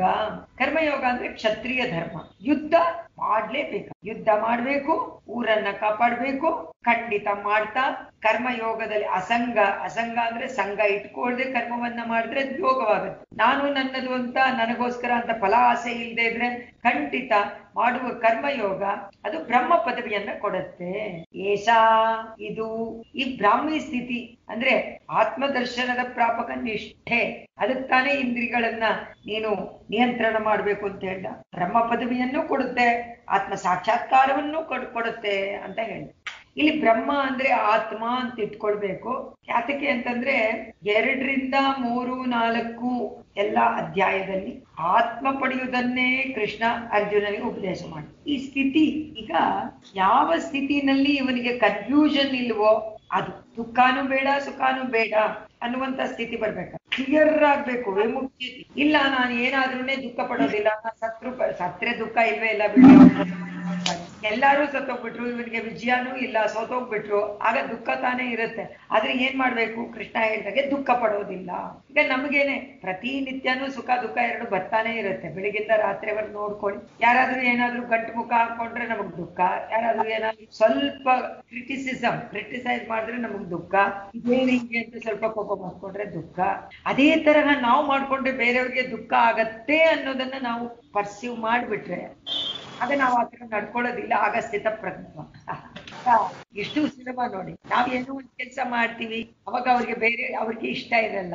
ನಮಗ್ ಗೊತ್ತಾಯ್ತು ಅಂತಿಟ್ಟು ಆಗ ನಾವೇನ್ ಮಾಡ್ಬೇಕು? ನಾನು ಆ ತರ ಮಾಡಿದ್ರೆ ಅವ್ರು ಎಷ್ಟು ಕೋಪಿಸ್ಕೋತಾರಲ್ವಾ? ನಾನ್ ಹಾಗೆ ಮಾಡಬಾರ್ದು ಅಂತ ನಮಗೇ ಒಂದು ರಿಯಲೈಸೇಷನ್ ಈ ಶ್ಲೋಕದಲ್ಲಿ ನೋಡಿ ಪಾರ್ಥ ಏ ಅರ್ಜುನ, ಈ ಬ್ರಾಹ್ಮಿ ಸ್ಥಿತಿ ಇದೆಯಲ್ಲ ಆತ್ಮ ಪ್ರಾಪಕವಾದ ನಿಷ್ಠೆ, ಸ್ಥಿತಪ್ರಜ್ಞತೆ ಅಂತ ಹೇಳ್ತಾ ಇದ್ದಾನಲ್ಲ ಎಷ್ಟೊತ್ತು. ಏನಾಂ ಪ್ರಾಪ್ಯ, ನಿಷ್ಕಾಮ ಕರ್ಮದಿಂದ ಮಾಡ್ಬಿಟ್ರೆ ಈ ಸ್ಥಿತಿ ಉಂಟಾಗತ್ತೆ ಅಂದ್ಬಿಟ್ಟು ಅಷ್ಟೇ ನೋಡಿ ಎಷ್ಟು ಸುಲಭ. ಆಸೆ ಇಲ್ಲದೆ ನಿನ್ನ ಕರ್ತವ್ಯವನ್ನ ಮಾಡು, ಕರ್ಮವನ್ನ ಮಾಡು, ನಿಷ್ಠೆಯಿಂದ ಮಾಡು. ಮತ್ತೆ ಮೋಹ ಬರೋದೇ ಇಲ್ಲ. ಮತ್ತೆ ಮೋಹ ಬರೋದಿಲ್ಲ ಅಂದ್ರೆ ಸಂಸಾರನೇ ಇಲ್ಲ, ಸದ್ಯ ಸಾಕಪ್ಪ. ಅದಕ್ಕೆ ಅಂತಕಾಲೇಪಿ ಅಸ್ಯಾಂಸಿತ್ವ ಓ ಮುಂಚೆ ಎಲ್ಲ ಬರ್ಲಿಲ್ಲ, ಚಿಕ್ಕ ವಯಸ್ಸಲ್ಲಿ ಬರ್ಲಿಲ್ಲ. ಅಂತ್ಯಕಾಲೇಪಿ ಇನ್ನೇನು ಹೋಗ್ಬಿಡ್ತೀನಿ ಅಂದಾಗ್ಲೂ ಆದ್ರೂ ಅಸ್ಯಾಂಸಿತ್ವ ಈ ನಿಷ್ಠೆ ಬಂದ್ಬಿಟ್ರೆ ನಿರ್ವಾಣ ಬ್ರಹ್ಮ ಆ ಖಂಡಿತ ಸಿಗುತ್ತೆ. ಅದಕ್ಕೆ ಭಗವದ್ ರಾಮಾನುಜರು ಈ ಒಂದು ಶ್ಲೋಕಕ್ಕೆ ಹೇಳ್ತಾರೆ, ನಿ- ನಿತ್ಯಾತ್ಮ ಜ್ಞಾನ ಪೂರ್ವಕ ನಿಷ್ಕಾಮ ಕರ್ಮಾನುಷ್ಠಾನ ಈ ಸ್ಥಿತಿ ಸ್ಥಿತ ಪ್ರಜ್ಞತೆಗೆ ಸಾಧಕ. ಸಾಧಕ ಅಂದ್ರೆ ಉಪಾಯ. ಅಲ್ಲಿಗೆ ಹೋಗ್ಬೋದು. ಆತ್ಮಜ್ಞಾನ ಪೂರ್ವಕವಾದ ನಿಷ್ಕಾಮ ಕರ್ಮ. ಅಂದ್ರೆ ಅರ್ಥ ಜ್ಞಾನ. ಜ್ಞಾನದಿಂದ ಕರ್ಮವನ್ನ ಆಸೆ ಇಲ್ಲದೆ, ಫಲಕ್ಕೆ ಆಸೆ ಇಲ್ಲದೆ ಮಾಡು. ಶ್ರದ್ಧೆಯಿಂದ ಮಾಡು. ಅನುಷ್ಠಾನದಲ್ಲಿ ಸ್ಥಿತಿಯಾಗಿರು. ಅದು ಸ್ಥಿತ ಪ್ರಜ್ಞತೆಗೆ ಸಾಧಕವಾಗತ್ತೆ, ಆತ್ಮದರ್ಶನವಾಗುತ್ತೆ. ಅಂದ್ರೆ ಸ್ಥಿತಿ ಬ್ರಾಹ್ಮಿ. ಬ್ರಾಹ್ಮಿ ಅಂತ ಕರೆದ್ರು ಬ್ರಹ್ಮನನ್ನ ಕೊಡುವಂತ ಮಾರ್ಗ. ಬ್ರಹ್ಮನನ್ನ ತೋರಿಸುವಂತ ಮಾರ್ಗ. ಅದೇ ಆತ್ಮ ಸಂದರ್ಶನ. ಅದು ಎಷ್ಟು ಕಷ್ಟ ಅಲ್ವಾ. ಆತರ ಬಂದ್ಬಿಟ್ರೆ ಮತ್ತೆ ನೀನು ಸಂಸಾರಕ್ಕೆ ಬರೋದಿಲ್ಲ. ಅಂತಾನೆ. ನಿಂಗ್ ಮತ್ತೆ ಸಂಸಾರ ಇಲ್ಲ. ಸಂಸಾರ ಹೊಂದಲ್ಲ ಅಂತಂದ್ರೆ ಸುಲಭವಾಗಿ ಮೋಕ್ಷ ಇಲ್ಲಿಂದ ನಿವೃತ್ತಿ. ಈ ಸ್ಥಿತಿ ಬರಬಾರ್ದ ಅಂತ. ಕಡೆಯಲ್ಲಾದ್ರೂ ಬರುತ್ತೆ ಅರ್ಜುನ. ಈಗ ಬರ್ದೇ ಇದ್ರು ಅಂತ್ಯಕಾಲೇಪಿ. ಅಂತ್ಯಕಾಲದಲ್ಲಾದ್ರೂ ಕಡೆ ವಯಸ್ಸು, ವೃದ್ಧ, ವೃದ್ಧಾಪ್ಯದಲ್ಲಾದ್ರೂ ಮನುಷ್ಯ ಈ ಒಂದು ಸ್ಥಿತಿಗೆ ಬರ್ಬೇಡ್ವಾ? ಬ್ರಾಹ್ಮಿ ಸ್ಥಿತಿ. ಬ್ರಹ್ಮನನ್ನ ಪಡ್ಕೊಳ್ಬೇಕು ಅದು ಆತ್ಮ ದರ್ಶನವಾಗ್ಬೇಕು ಆತ್ಮಾವಲೋಕನಂ ದಾನಯೋಗ ಸಾಧನಂ. ನಿತ್ಯಾತ್ಮ ಸಂಘ ಕರ್ಮೇ ಆಗೋಚರ ಸಾಂಖ್ಯ ಯೋಗದೀಹಿ ದ್ವಿತೀಯ ಸ್ಥಿತದಿ ಲಕ್ಷ ಪ್ರೋಕ್ತ ತನ್ ಮೋಹ ಶಾಂತಯೇ. ಸೊ, ಆ ಸ್ಥಿತಿಯಲ್ಲಿ ಬಂದಾಗ ಬ್ರಹ್ಮ ನಿರ್ವಾಣ ರುಚತಿ ಖಂಡಿತವಾಗಿ ಆನಂದಮಯನಾದ ಆತ್ಮನನ್ನ ಬ್ರಹ್ಮನನ್ನ ಹೊಂದುತ್ತಾನೆ. ಹಾಗೆ ಪಡ್ಕೊಂಡವನು ಸುಖವಾಗಿರ್ತಾನೆ ಸುಖವಾಗಿರ್ತಾನೆ ಅಂತ ಅರ್ಥ. ಸೊ ಅದರ ಅರ್ಥವನ್ನ ಇಲ್ಲಿ ಹೇಳಿ. ಆತ್ಮ, ಆತ್ಮನ ನಿಜ ಸ್ವರೂಪ ಏನು? ಅಂದ್ರೆ ಅವರವರ ಕರ್ಮ, ಆತ್ಮ ಪ್ರಾಪ್ತಿಗೆ ಕರ್ಮವನ್ನ ಮಾಡ್ತಾ ಇರಬೇಕು ಅನ್ನೋ ವಿಷಯ ತುಂಬಾ ಮುಖ್ಯ. ದೇಹವೇ ಆತ್ಮ ಅನ್ನುವಂತ ಜ್ಞಾನದಿಂದ, ಮೋಹದಿಂದ ಮಾಡಿಬಿಟ್ರೆ ಅದು ಯುದ್ಧ ಬೇಡ ಅಂತ ಹೋಗ್ತಾ ಇದ್ದಾನೆ ಅರ್ಜುನ. ಅವನಿಗೆ ಇಷ್ಟು ಮೋಹಕ್ಕೆ ಒಳಗಾಗಿದ್ದಾನೆ, ಅಳ್ತಾ ಇದ್ದಾನೆ, ಈ ಸ್ಥಿತಿನಲ್ಲಿದ್ದಾನೆ. ಇವನಿಗೆ ಶಾಂತಿ ಹೇಗಪ್ಪ ಬರುತ್ತೆ? ನಿತ್ಯನಾದ ಆತ್ಮ ಅಂತೆಲ್ಲ ಇವನು ತತ್ವ ವಿಷಯವಾಗಿ ಹೇಳ್ತಾ ಇದ್ದಾನಲ್ಲ. ಅವನ್ ಬುದ್ಧಿಗೆ ಹೋಗುತ್ತಾ ಇದು? ಹೋಗ್ಲಿ ಅಂತ ಹೇಳ್ತಾ ಇದ್ದಾನೆ. ಎಲ್ರೂ ಅದೇ ತಾನೆ. ಉಪನ್ಯಾಸ ಕೇಳೋದಾಗ್ಲಿ, ಉಪನ್ಯಾಸ ಮಾಡೋದಾಗ್ಲಿ, ಎಲ್ಲೂ ಸ್ವಲ್ಪ ಆದ್ರೂ ಮನಸ್ಸಿನಲ್ಲಿ ಚಿಂತನೆಯಲ್ಲಿ ಇರ್ಲಿ ಅಂತ. ಆ ಮೋಹ ಹೋಗಿ ಶಾಂತಿ ಉಂಟಾಗ್ಬೇಕಾದ್ರೆ ತತ್ವ ವಿಷಯದ ಜ್ಞಾನ ಇರ್ಬೇಕು. ಆತ್ಮತತ್ವದ ಜ್ಞಾನ ಇರ್ಬೇಕು. ಯಾವಾಗ ಆತ್ಮ ತತ್ವದ ಜ್ಞಾನ ಉಂಟೋ, ಆಗ ತಕ್ಷಣ ಏನಾಗತ್ತೆ? ನಾನ್ ಮಾಡ್ತಾ ಇಲ್ಲ ಕರ್ಮವನ್ನ. ಸೊ, ಅದರಿಂದ ಕರ್ಮ ಸಂಘ ಬೇಡ. ಕರ್ಮ ಸಂಘವನ್ನ ಬಿಟ್ಟು, ಫಲತ್ಯಾಗವನ್ನ ಮಾಡಿಬಿಟ್ಟು, ಆ ಬುದ್ಧಿಯಿಂದ ನಾನು ಮಾಡಿಬಿಟ್ರೆ ಸ್ಥಿತಪ್ರಜ್ಞತೆ ಉಂಟಾಗತ್ತೆ. ಸ್ಥಿತಪ್ರಜ್ಞತೆ ಉಂಟಾದಾಗ ಜ್ಞಾನ ಯೋಗಕ್ಕೆ ಕರ್ಮಯೋಗಕ್ಕೆ ಇದು ಸಾಧನವಾಗತ್ತೆ ಅಂತ ಹೇಳಿ ಎರಡನೇ ಅಧ್ಯಾಯವನ್ನ ಮುಗಿಸ್ತಾನೆ. ಈ ನಿತ್ಯವಾದ ಆತ್ಮತತ್ವವನ್ನು ತೋರಿಸೋದು ಯಾವುದರಿಂದ ಅಂತ ಕೇಳಿದ್ರೆ ಜ್ಞಾನದಿಂದಲೇ. ಯಾತಕ್ಕೆಂದ್ರೆ ಅದನ್ನ ತೋರ್ಸಕ್ಕಾಗಲ್ವಲ್ಲ? ಪ್ರತ್ಯಕ್ಷ ಪ್ರಮಾಣದ ಇಲ್ವಲ್ಲ? ಅದರಿಂದ ಶಾಸ್ತ್ರಾನೇ ಅವಲಂಬನ ಮಾಡಿ ಶಾಸ್ತ್ರಾವಲಂಬನ ಮಾಡಿ ಅವ್ರು ಹೇಳಿದ್ದನ್ನೆಲ್ಲ ಕೇಳಿ ಕೇಳಿ ಕೇಳಿ ಅದನ್ನ ನಂಬಿ ಓ ಇವ್ರು ಹೇಳೋದೆಲ್ಲ ಕರೆಕ್ಟ್ ಅಂತ ನಂಬ್ಕೋ ಬೇರೆ, ನಂಬಿಕೆ ಬೇರೆ ಬರ್ಬೇಕಲ್ಲ, ವಿಶ್ವಾಸ. ಅದಿಲ್ಲದೆ ಇದ್ರೆ ಬುದ್ಧಿ ಅಕ್ಸೆಪ್ಟೇ ಮಾಡ್ಕೊಳ್ಳಲ್ಲ, ಬುದ್ಧಿ ತಳ್ಳೇ ಬಿಡುತ್ತೆ ಹೊರಗಡೆ. ಅದನ್ ಮಾಡಿದ್ರೂ ಸ್ಥಿತಪ್ರಜ್ಞತೆ ಬರೋದಿಲ್ಲ. ಕೇಳಿದ್ರೂನೆ ವಿಕಾರಗೊಳ್ಬಾರ್ದು ವಿಕಾರಗೊಳ್ಳದೆ ಇದ್ರೆ ಮನಸ್ಸು ಅದು ಸ್ಥಿತಪ್ರಜ್ಞೆ ಯಾರಾದ್ರೂ ಬೈದ್ರು ದಂಡಗಳಗಳಗಳ ಅಂತ ನೀರ್ ಬಂದ್ರೆ ಯಾವ ಸ್ಥಿತಪ್ರಜ್ಞೆ ಹತ್ರನೇ ಇಲ್ಲ ಅಂತ. ಬಿಕ್ಕಿ ಬಿಕ್ಕಿ ಅಳುನೇ ಬಂದ್ಬಿಡುತ್ತಲ್ಲ ತಕ್ಷಣ. ಈಗ ಅರ್ಜುನನಿಗೆ ಮೋಹ ಗೊತ್ತಿದೆ ಅಲ್ಲ ನಿಮ್ಗೆ? ಮೊದಲಿಂದಲೂ ಮೋಗದಲ್ಲೇ ಕೂತ್ಕೊಂಡಿದ್ದಾನೆ ಅವನು. ಅವ್ರಿಗೆ ಇವಾಗ ಶಾಂತಿ ಶಾಂತಿ ಬೇಕು. ಅವ್ರಿಗೆ ಶಾಂತವಾದ ಮನಸ್ಸಿದ್ರೆ ನಮ್ಮ ಮುಂದೆ ಕೇಳೋದಾದ್ರೂ ಸರಿಯಾಗಿ ಕೇಳಿಸ್ಕೊತಾನೆ ಅಂತ ಕೃಷ್ಣನಿಗೆ ಆಸೆ. ಇಷ್ಟೊತ್ತು ಕೇಳಿಸ್ಕೊಂಡಿರಲ್ಲ ಅಳ್ತಾ ಇದ್ದ. ನಾ ಏನೇನೋ ಹೇಳ್ದೆ ವಿಚಾರವಲ್ಲ ಆದ್ರೆ ಈಗ ಮುಂದಕ್ಕಾದ್ರೂ ಕೇಳ್ಕೊಳ್ತಾನ ಇವ್ರು. ಶಾಂತಿ, ಅದರಿಂದ ಶಾಂತಿ ಸಿಗತ್ತೆ ಅರ್ಜುನ. ಅಂತ ನೋಡಿ, ನ ಕಾಮಕಾಮಿ ಶಾಂತಿ ಶಾಂತಿ ಅಂತ ಹೇಳ್ದ. ಆದ್ರೆ ಆ ಸ್ಥಿತಿಗೆ ಬಂದಿದಾನ ಅರ್ಜುನ? ನೀವ್ ನೀವೇ ಯೋಚನೆ ಮಾಡ್ಕೊಂಡು ನೋಡಿ, ಪರೀಕ್ಷೆ ಮಾಡ್ಕೊಂಡು. ಆ ಸ್ಥಿತಿನಲ್ಲಿ ಅರ್ಜುನ ಇದ್ದಿದ್ರೆ ಆತ್ಮ ತತ್ವ ಗೊತ್ತಾಗ್ಬಿಟ್ರೆ ಆತ್ಮನ ಸಾಕ್ಷಾತ್ಕಾರ. ಹಾಗೆ ಆಗತ್ತಲ್ವ? ಆದ್ರೆ ಕರ್ಮ ನಿಷ್ಠೆಯಿಂದ ಮಾಡ್ಬಿಟ್ರೆ ನಿನ್ಗೆ ಆ ಸ್ಥಿತಿ ಬರುತ್ತೆ ಅಂತ ಹೇಳಿದಾನೆ ಕೃಷ್ಣ. ಅದರಿಂದ ಸಂದೇಹನೇ ಬರಬಾರ್ದು. ಕರ್ಮದಲ್ಲಿ ನಿಷ್ಠೆಗಿಟ್ಟು ಫಲ ಸಂ, ಸಂಧಿಯನ್ನ, ಸಂಗಮವನ್ನ ಬಿಟ್ಟು ನ್ಯಾಸವನ್ನ ಮಾಡ್ಬಿಟ್ರೆ ಅದು ಖಂಡಿತ ಸಿಕ್ಕೇ ಸಿಗತ್ತೆ ಅಂತ ಕರ್ಮ ನಿಷ್ಠೆಯನ್ನ ಇನ್ನೊಂದ್ಸತಿ ಹೇಳಿ. ಸಂಸಾರದ ವಿಮೋಚನೆ ಮುಖ್ಯವಾದದ್ದು ಕರ್ಮ ಯೋಗ ಅನುಷ್ಠಾನ ಅಂತ ಹೇಳಿದಾನೆ. ಆತ್ಮತತ್ವ ಜ್ಞಾನವನ್ನು ಉಪದೇಶ ಮಾಡಿದಾನೆ ಅರ್ಜುನನಿಗೆ. ಜ್ಞಾನಯೋಗ ಅಂದ್ರೆ ಕರ್ಮಯೋಗದಿಂದ ಸಾಧ, ಸಾಧನೆ ಮಾಡುವಂತಹ ಸಾಧನೆ ಮಾಡುವಂತಹ ಕಾಲದಲ್ಲಿ ಜ್ಞಾನದಿಂದ ಮಾಡುವಂತದ್ದಾಗ್ಬಿಟ್ರೆ ಅದು ಖಂಡಿತ ಜ್ಞಾನ ಯೋಗವಾಗ ಅದಕ್ಕೋಸ್ಕರ ಸ್ಥಿತಪ್ರಜ್ಞತಾ ಯೋಗ ಸಾಧನ ಭೂತ ಅಂತ ಬರೆದ್ರು ಸ್ಥಿತಪ್ರಜ್ಞತಾ ಅನ್ನುವಂತ ಶಬ್ದಕ್ಕೆ ಯೋಗವನ್ನ ಸೇರಿಸ್ಕೊಂಡ್ರೆ ಏನಾಯ್ತು? ವಿಶೇಷಣವಾಯ್ತು ವಿಶೇಷ ಎರಡೂ ಶಬ್ದಗಳನ್ನ ಸ್ಥಿತಪ್ರಜ್ಞತೆ ಯೋಗ ಸಾಧನೆ. ಯೋಗ ಸ್ಥಿತಪ್ರಜ್ಞತಾ ಯೋಗ. ಅದು ಒಂದು ಯೋಗ. ಅದೇನ್ ಸುಮ್ಮನೆ ಸಿಗೋದಿಲ್ಲ. ಸ್ಥಿತಪ್ರಜ್ಞತೆ ಅನ್ನೋದು ಅದೃಷ್ಟ ಫಲ. ಅದೃಷ್ಟ ಫಲ ಅಂದ್ರೆ ಯೋಗ. ಸೊ ಇದು ಸುಮ್ ಸುಮ್ನೆ ನಾವು ಇದನ್ನ ಪ್ರಾಕ್ಟೀಸ್ ಮಾಡಿ, ಓ, ನಾನು ಅದು ಪ್ರಾಕ್ಟೀಸ್ ಮಾಡಿದೆ ನನ್ಗೆ ಬೇಗ ಬಂದ್ಬಿಡ್ತು, ಈಗ ಫಾಸ್ಟ್ ಆಗಿ ಮಾಡ್ತೀನಿ ಅಂತ ಮಾಡೋದಂಥದ್ದಲ್ಲ ಸ್ಥಿತಪ್ರಜ್ಞತೆ ಅನ್ನೋದು ಮಾನಸಿಕ ಮನಸ್ಸು ಶಾಂತಿಯಿಂದ ಇರೋದು ಎಲ್ಲಾ ಕಾಲದಲ್ಲಿ. ಅದು ಆತ್ಮ ಸಾಕ್ಷಾತ್ಕಾರದಿಂದ ಆಗತ್ತೆ ಅಂತ ಹೇಳಿದ್ದಾನೆ ಕೃಷ್ಣ ಹೇಳಿದಾನೆ ಆತ್ಮ ಸಾಕ್ಷಾತ್ಕಾರದಿಂದ ಮನಃಶಾಂತಿ ಅಂತ. ಅದನ್ನ ಇಲ್ಲಿ ಯೋಗ ಅಂತ ಹೇಳಿದ್ರು. ಕಡೆಯ ಕಾಲದಲ್ಲಾದ್ರೂ ಆ ಸ್ಥಿತಿ ಬರ್ಲಿ ಅಂತ ಪ್ರಾರ್ಥನೆ. ಈಗ ಅರ್ಜುನನಿಗೆ ನಿರ್ವಾಣಂ ಅಂದ್ರೆ ಆನಂದ, ದುಃಖ, ಕಷ್ಟ ಇಲ್ಲದ ಸ್ಥಿತಿ, ಬ್ರಹ್ಮ ಅಂದ್ರೆ ಆತ್ಮ, ಅದನ್ನ ರಚ್ಯತಿ ಪಡ್ಕೊಳ್ತಾನೆ. ಅರ್ಜುನನಿಗೆ ಕರ್ಮಯೋಗವನ್ನ ಹೇಳಿದ, ಅದರಲ್ಲೇ ನಿಲ್ಲು, ಅದು ಮಾಡಿದ್ರೆ ಆತ್ಮ ಸಾಕ್ಷಾತ್ಕಾರ ಆಗತ್ತೆ ಅಂತ ಹೇಳ್ದ. ಅವಾಗ ನಿನಗೆ ತಿಳಿವಾದ ಜ್ಞಾನ ಉಂಟಾಗತ್ತೆ. ಚಿಕ್ಕ ವಯಸ್ಸಿನಲ್ಲಾಗ್ಲಿ ಅಥವಾ ಅಂತ್ಯಕಾಲದಲ್ಲಾದ್ರೂ ಈ ಕರ್ಮಯೋಗ ಮಾಡಿದ್ರೆ ಖಂಡಿತವಾಗಿ ಆನಂದ ಪಡ್ಕೊಳ್ಬಹುದು ಅಂತ ಹೇಳ್ದ.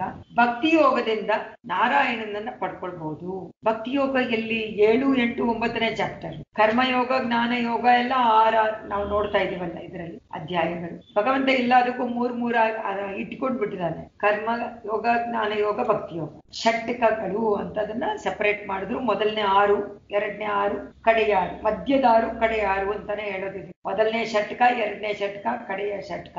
ಷಟ್ಕ ಅಂದ್ರೆ ಆರು ಆರು ಅಧ್ಯಾಯ. ಆರು ಕರ್ಮ, ಆರು ಜ್ಞಾನ, ಆರು ಭಕ್ತಿ, ಆರು ಅಧ್ಯಾಯಗಳು. ಮೊದಲನೇ ಆರಲ್ಲಿ ಏನ್ ಸಿಗತ್ತೆ? ಕರ್ಮದಿಂದ ಕರ್ಮನಿಷ್ಠನಾಗ್ಬಿಟ್ರೆ ಆತ್- ಆತ್ಮವನ್ನ ಅಡಿಮೆಯಾಗಿ ಇಟ್ಕೊಳ್ಬಹುದು ಆಗ ಭಗವಂತನನ್ನ ತಿಳಿಯಬೇಕು ಅನ್ನುವಂತ ಜ್ಞಾನ ಬರುತ್ತೆ. ಅದಕ್ಕೆ ಭಕ್ತಿ ಯೋಗ ಸಾಧನೆ. ಸೊ ಕರ್ಮದಿಂದ ಜ್ಞಾನ, ಜ್ಞಾನದಿಂದ ಭಕ್ತಿ. ಭಕ್ತಿ ಯಾಕೆ ಮಾಡ್ತೀರಾ? ಪರಮಾತ್ಮ ಕೃಷ್ಣ ಅದಕ್ಕೆ ಕೃಷ್ಣ ಹೇಳ್ತಾನೆ ಯಶ್ರೇಯಸ್ಯ ನಿಜದ ಬ್ರೂಹಿ ತನ್ಮೇ ಶಿಷ್ಯತೆ ಚಾರಿಮಾಂ ತ್ವಾಂ ಪ್ರಪನ್ನ. ಜ್ಞಾಪಕ ಇದೆ ಅಲ್ವಾ? ಮೊದಲನೇ ಚಾಪ್ಟರ್ನ ಶ್ಲೋಕ. ಆತ್ಮ ನಿತ್ಯ ಅಂತ ಶುರು ಮಾಡ್ದ. ಅವನು ಹೇಳಿದ ತಕ್ಷಣ ಶುರು ಮಾಡ್ದ. ಆದ್ರೆ ಅವಾಗ ಮಾಡ್ಲಿಲ್ಲ. ನಾವು ನೋಡ್ತೀವಿ ಮೊದಲನೇದ್ರಲ್ಲಿ ಒಂದರಿಂದ ಹತ್ತು ಶ್ಲೋಕದವರೆಗೂ, ಎರಡನೇ ಚಾಪ್ಟರ್ ವರೆಗೂ ಎಲ್ಲ ಅರ್ಜುನನ ಕ್ರೈಯಿಂಗ್ ನಾನು ಶೋಚಂತಿ ಪಂಡಿತ ಅಂತ ಅಲ್ಲಿಂದ ನಾಸತೋ ವಿದ್ಯತೆ ಭಾವೋ ನಾಭಾವೋ ವಿದ್ಯತೆ ಸತಗ ಅಂತ ಆರಂಭ ಆಯಿತು ಕೃಷ್ಣನ ಉಪದೇಶ. ಹನ್ನೆರಡರಿಂದ ಮೂವತ್ತೆಂಟರವರೆಗೆ ಶ್ಲೋಕದವರೆಗೆ ಉಪದೇಶ ಮಾಡ್ದ. ದೇಹ ಅಳಿಯತ್ತಪ್ಪ. ದೇಹ ನಿತ್ಯವಿಲ್ಲ. ಅದು ಅನಿತ್ಯ, ಅದು ಅಶಾಶ್ವತ ಅನ್ನುವ ಜ್ಞಾನ. ಆದ್ರೆ ಆತ್ಮ ನಿತ್ಯ ಎನ್ನುವಂತ ಜ್ಞಾನ ಬರಬೇಕು ಅಂತ ಹೇಳಿ ಹೇಳ್ದ. ಆಮೇಲೆ ಮೂವತ್ತೊಂಬತ್ತರಿಂದ ಐವತ್ತೆರಡರವರೆಗೆ ಕರ್ಮಯೋಗ ಸುಖ, ದುಃಖೆ ಸಮಯ ಕೃತ್ವ, ಲಾಭ ಲಾಭವು ಜಯಾಜು ಎರಡೆರಡಾಗಿ ಬರ್ತಾನೆ ಇರುತ್ತೆ. ಸಮವಾಗಿ ನೋಡೋ ಅದನ್ನ. ಕರ್ಮಣ್ಯೇ ವಾದಿಕಾರತ್ತೆ ಮಾಪಲೇಶು ಕದಾಚನ ಅಂತ ಹೇಳ್ಬಿಟ್ಟ. ಐವತ್ತೆರಡರವರೆಗೆ, ಮೂವತ್ತೊಂಬತ್ತರಿಂದ ಐವತ್ತೆರಡು, ಎರಡನೇ ಚಾಪ್ಟರ್ ಐವತ್ಮೂರನೇ ಶ್ಲೋಕ. ಈ ಕರ್ಮಯೋಗವನ್ನ ನೀ ಮಾಡ್ತಾನೆ ಇದ್ರೆ ವಾದಿಕಾರಸ್ತೆ ಅಂತ, ನಿನಗೆ ಅಧಿಕಾರದಂತೆ ನಿನ್ನ ಆಶ್ರಮ ಧರ್ಮ ಕುಲಧರ್ಮ, ನಿನ್ನ ನಿಂತಿರುವಂತಹ ಧರ್ಮ ಎಲ್ಲದರನ್ನೂ ನೋಡ್ಕೊಂಡು ಆ ಕರ್ಮ, ಕರ್ಮಯೋಗದಲ್ಲಿ ನಿಷ್ಠೆಯಿಂದ ನೀನು ಮಾಡ್ತಾ ಬಂದ್ರೆ ಮನಸ್ಸಿನ ಕೊಳೆ ಎಲ್ಲ ಹೊಟ್ಟೋಗುತ್ತೆ. ಆಗ ಜ್ಞಾನ ಯೋಗ ಮಾಡಬಹುದು ಜ್ಞಾನ ಯೋಗ ಮಾಡಿದ್ರೆ ಆತ್ಮ ಸಾಕ್ಷಾತ್ಕಾರವಾಗುತ್ತೆ ಅಚಲ ಬುದ್ಧಿ ನೋಡಿ ಎಷ್ಟು ಚೆನ್ನಾಗಿ ಸುಲಭವಾಗಿ ಹೇಳ್ಬಿಟ್ಟ ಕೃಷ್ಣ. ಅದಕ್ಕೆ ಹೇಳ್ದ ಅರ್ಜುನ ಕೇಳ್ದ, ಆದ್ರೆ ಅದು ಯಾವುದು ದೊಡ್ಡದಪ್ಪ? ಕರ್ಮಯೋಗನೋ ಜ್ಞಾನ ಯೋಗನೋ ಎರಡು ಮಾಡ್ಬೇಕಾದ್ರೆ. ನೋಡು ಜ್ಞಾನ ಯೋಗ ದೊಡ್ಡದು, ಕರ್ಮಯೋಗಕ್ಕಿಂತ ಜ್ಞಾನ. ಹಾಗಾದ್ರೆ ಅವನು ಹೇಗಿರ್ತಾನೆ ಅಂತ. ಅವನೇ ಸ್ಥಿತ ಪ್ರಜ್ಞ ಐವತ್ನಾಲ್ಕನೇದ್ರಲ್ಲಿ ಸ್ಥಿತ ಪ್ರಜ್ಞಸ್ಯ ಕಾಭಾಷ ಅಂತ ಅರ್ಜುನ ಕೇಳ್ದ. ಐವತ್ತೈದರಿಂದ ಎಪ್ಪತ್ತೆರಡನೇ ಶ್ಲೋಕದವರೆಗೆ ಜ್ಞಾನ ಯೋಗವನ್ನ ವಿವರಣೆ ಮಾಡ್ದ ಕೃಷ್ಣ ಅರ್ಜುನನ. ನಿತ್ಯ ದ್ವಿತೀಯೇ ಸ್ಥಿತದಿ ಲಕ್ಷ್ಯ ಇದು ಆಳವಂತಾರವರ ವಾಕ್ಯ ಗೀತಾ ಸಂಗ್ರಹ ಈಗ ಈ ಎರಡನೇ ಚಾಪ್ಟರ್ ದೊಡ್ಡದಾಗಿದೆ ಯಪ್ಪಕ ವಿಷಯ ಸ್ವಲ್ಪ ಕಷ್ಟವಾದ ಆದ್ರೂನೆ ಸುಲಭವಾಗಿ ನಾವು ಅರ್ಥ ಮಾಡ್ಕೊಂಡಿದೀವಿ ಅನ್ನುವಂತ ಒಂದು ಹೋಪ್. ಅದು ಗೊತ್ತಿಲ್ಲ. ಎಷ್ಟಾಗಿದೆಯೋ ಎಷ್ಟು ಎಷ್ಟು ಮನಸ್ಸಿನಲ್ಲಿ ಕೂತ್ಕೊಂಡಿದ್ಯೋ ವಿಚಾರ. ಅದ್ರ ಮುಂದಕ್ಕೆ ಹೋಗ್ಲೇಬೇಕಲ್ಲ. ಅಲ್ಲೇ ಇರೋಕ್ ಸಾಧ್ಯ ಇಲ್ಲ. ಈಗ ಪದ್ಮೋತ್ತರ ಕಂಡ ಪುರಾಣದಲ್ಲಿ ಇದರ ಎರಡನೇ ಚಾಪ್ಟರ್ದು ಒಂದು ಕಥೆಯನ್ನ ಹೇಳಿದ್ದಾನೆ ಅದರ ವೈಭವ, ಅದರ ಮಹಾತ್ಮ ದಕ್ಷಿಣ ದಿಕ್ಕಿನಲ್ಲಿ ಒಬ್ಬ ದೇವಶರ್ಮ ಅಂತ ಬ್ರಾಹ್ಮಣ ವೇದ, ಯಜ್ಞ ಎಲ್ಲ ಗೊತ್ತಿತ್ತು. ಆದ್ರೆ ಅವನಿಗೆ ತೃಪ್ತಿ ಇಲ್ಲ, ಮನಃಶಾಂತಿ ಇಲ್ಲ ಅಂತ ಹೇಳಿ ಒಂದು ಮುನಿವರರ ಹತ್ರ ಹೋದ. ಗೋದಾವರಿ ನದಿ ತೀರದಲ್ಲಿ ಹೋಗ್ ಕೇಳ್ದ ಅಲ್ಲಿ ಒಬ್ಬ ಆಡು ಮೇಯಿಸ್ತಾ ಇದ್ದ, ಅವನನ್ನ ನೋಡ್ದ ಮಿತ್ರವಾನಂತ ಆ ಹುಡುಗ ಶಾಂತವಾಗಿದ್ದ. ಅವ್ರನ್ನ ಕೇಳ್ತಾರೆ ಮುನಿವರನ್ನ, ಅವ್ನ್ ಕೇಳ್ತಾನೆ ದೇವಶರ್ಮ. ಆ ಹುಡುಗ ನೋಡಿ ಎಷ್ಟು ಶಾಂತವಾಗಿದ್ದಾನಲ್ಲ. ಹೇಗೆ ಅಂತ ಕೇಳಿದಾಗ ಈ ಕಥೆಯನ್ನ ಹೇಳ್ತಾರೆ ಮುಂದಕ್ಕೆ. ದುರ್ಮತ ಅಂತ ಒಬ್ಬ ಏನು ಕೆಲಸ ಮಾಡದೇ ಇದ್ದ ರಾಜನಲ್ಲಿ ರಾಜ, ರಾಜರ ಅರಮನೆ ಕೆಲಸ ಮಾಡ್ತಾ ಇದ್ದ. ಅಲ್ಲಿ ಏನ್ ಸಿಗತ್ತೋ ಅದನ್ನ ಜೀವನ ನಡೆಸ್ತಾ ಇದ್ದ. ಅದಾದ್ಮೇಲೆ ಅವನಿಗೆ ಇನ್ನೊಂದು ಪಿರುವಿ ಸಿಕ್ತು. ಆಗ ವೇಶ್ಯ ಸಹವಾಸ ಆಯ್ತು. ಒಂದು ಹೆಣ್ಣು ಮಗಳು, ಅವರಿಬ್ರು ಸತ್ತು ಹೋದ್ರು. ಆ ವೇಶ್ಯೆಯನ್ನ ಒಬ್ಬ ಬೇಡ ಬಂದ ಆ ವೇಶ್ಯೆ ಬೇಡ ಬೇಡ ಅಂದ್ರೆ ಬೇಡ, ಬೇಡರ ಜಾತಿ ಅವನು. ಆ ಬೇಡರ ಜಾತಿ ಅವರ ಹತ್ರ ಒಂದು ಹುಲಿ ಇತ್ತು. ಆ ಹುಲಿಯಾಗಿ ಹುಟ್ಟಿದ, ಆ ಪಿಶಾಚಿ ಆಡಾಗಿ ಇದೆಲ್ಲ ಈ ಗುಂಪಿಗೆ ಸೇರಿದ್ದು ಹುಲಿ ಅಟ್ಟಿಸ್ಕೊಂಡ್ ಬಂತು ಆಡನ್ನ. ಎರಡು ದೇವಸ್ಥಾನದ ಬಾಗಿಲಿಗೆ ಬಂತು. ಆಗ ಆಡು ಹೇಳ್ತಂತೆ ಹುಲಿಗೆ, ನೀನೀಗ ನನ್ನನ್ನ ಕೊಲ್ಲು, ನನ್ನ ಶರೀರ ತಾನೇ ಕೊಲ್ತೀಯ? ಅದರ ಅರ್ಥ ಎರಡನೇ ಚಾಪ್ಟರ್ನಲ್ಲಿ ತಿಳ್ಕೊಂಡಿತ್ತದು ಎರಡನೇ ಚಾಪ್ಟರ್ ಕೇಳಿತ್ತಂತೆ ಎರಡನೇ ಅಧ್ಯಾಯ. ಅದರಿಂದ ಅದು ಹೇಳಿತು, ನನ್ನನ್ನು ಈಗ ಕೊಲ್ಲು ನೀನು, ನನ್ನ ಶರೀರ ತಾನೇ ಕೊಲ್ತೀಯ? ಅದು ದೇವಸ್ಥಾನ ಬಾಗಿಲದಲ್ಲಿ ತಾನೇ ನಿಂತ್ಕೊಂಡಿದೆ, ನನ್ನಲ್ಲಿ ಇಟ್ಬಿಡು ಅಂತ ಹೇಳಿದ್ದಾನೆ. ನೀನು ನನ್ನನ್ನ ಕೊಲ್ಬೇಕಾದ್ರೆ ಎಲ್ಲ ಭಗವಂತನಿಗೆ ಅಂತ ಅರ್ಪಣೆ ಮಾಡ್ಬಿಡು ಅಂತ. ಆ ಮಿತ್ರವಾನ್ ಅವನೇ ಆಡು ಮೇಯಿಸ್ತಾ ಇರುವಂತ ಒಬ್ಬ ಗೋಪಾಲ. ಆ ಮುನಿಗಳು ಬಂದ್ರು, ಅರ್ಚಕರಿಗೆ ಉಪದೇಶ ಮಾಡಿದ್ರು. ನೋಡಿ, ಅದರ ಅರ್ಥ ಇಲ್ಲೇ ಇದೆ. ಇಲ್ಲಿ ಅದ ಯಾರು ಎರಡನೇ ಅಧ್ಯಾಯವನ್ನ ಕೇಳ್ತಾರೋ, ಅದ್ ಯಾರಾದ್ರೂ ಆಗಿರ್ಬೋದು ಅದರ ಮಹಿಮೆಯಿಂದ ತಿಳುವಳಿಕೆ ಉಂಟಾಗತ್ತೆ. ಇದನ್ನ ಇದು ಮಾತಾಡ್ತಾ ಇದ್ದಾಗ ಅಲ್ಲೇ ಒಂದು ಕೋತಿ ಕೂತ್ಕೊಂಡಿತ್ತು. ಆ ಕೋತಿ ಕೇಳ್ತು, ಆ ಕೋತಿ ಈ ವಿಚಾರವನ್ನೆಲ್ಲ ಹೇಳ್ತಾ ಇದೆ. ನೋಡಿದ್ರ? ಪ್ರಾಣಿಗಳಿಗೂ ಇದರ ವೈಭವ ಎರಡನೇ ಅಧ್ಯಾಯವನ್ನ ಕೇಳಿದ್ರೆ ಅದಕ್ಕೂ ಕೂಡ ತಿಳುವಳಿಕೆ ಉಂಟಾಗತ್ತೆ, ಜ್ಞಾನ ಉಂಟಾಗತ್ತೆ ಅಂತ ಅದು ಹೇಳ್ತಂತೆ. ಈ ಕಥೆಯನ್ನ ಅವರು ಪುರಾಣದಲ್ಲಿ ಹೇಳಿದ್ದಾರೆ.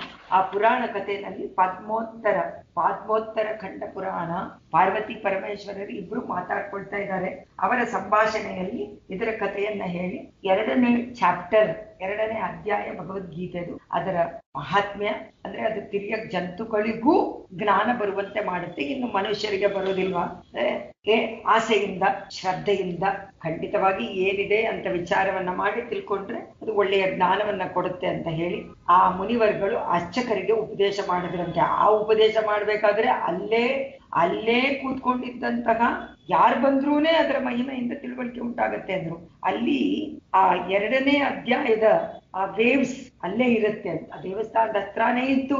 ಅದರಿಂದ ಹುಲಿ ಮತ್ತೆ ಆಡು ಅಲ್ಲಿ ಬಂದಾಗ ಅದಕ್ಕೆ ಎರಡಕ್ಕೂ ಆ ಇದು ಬಂತು.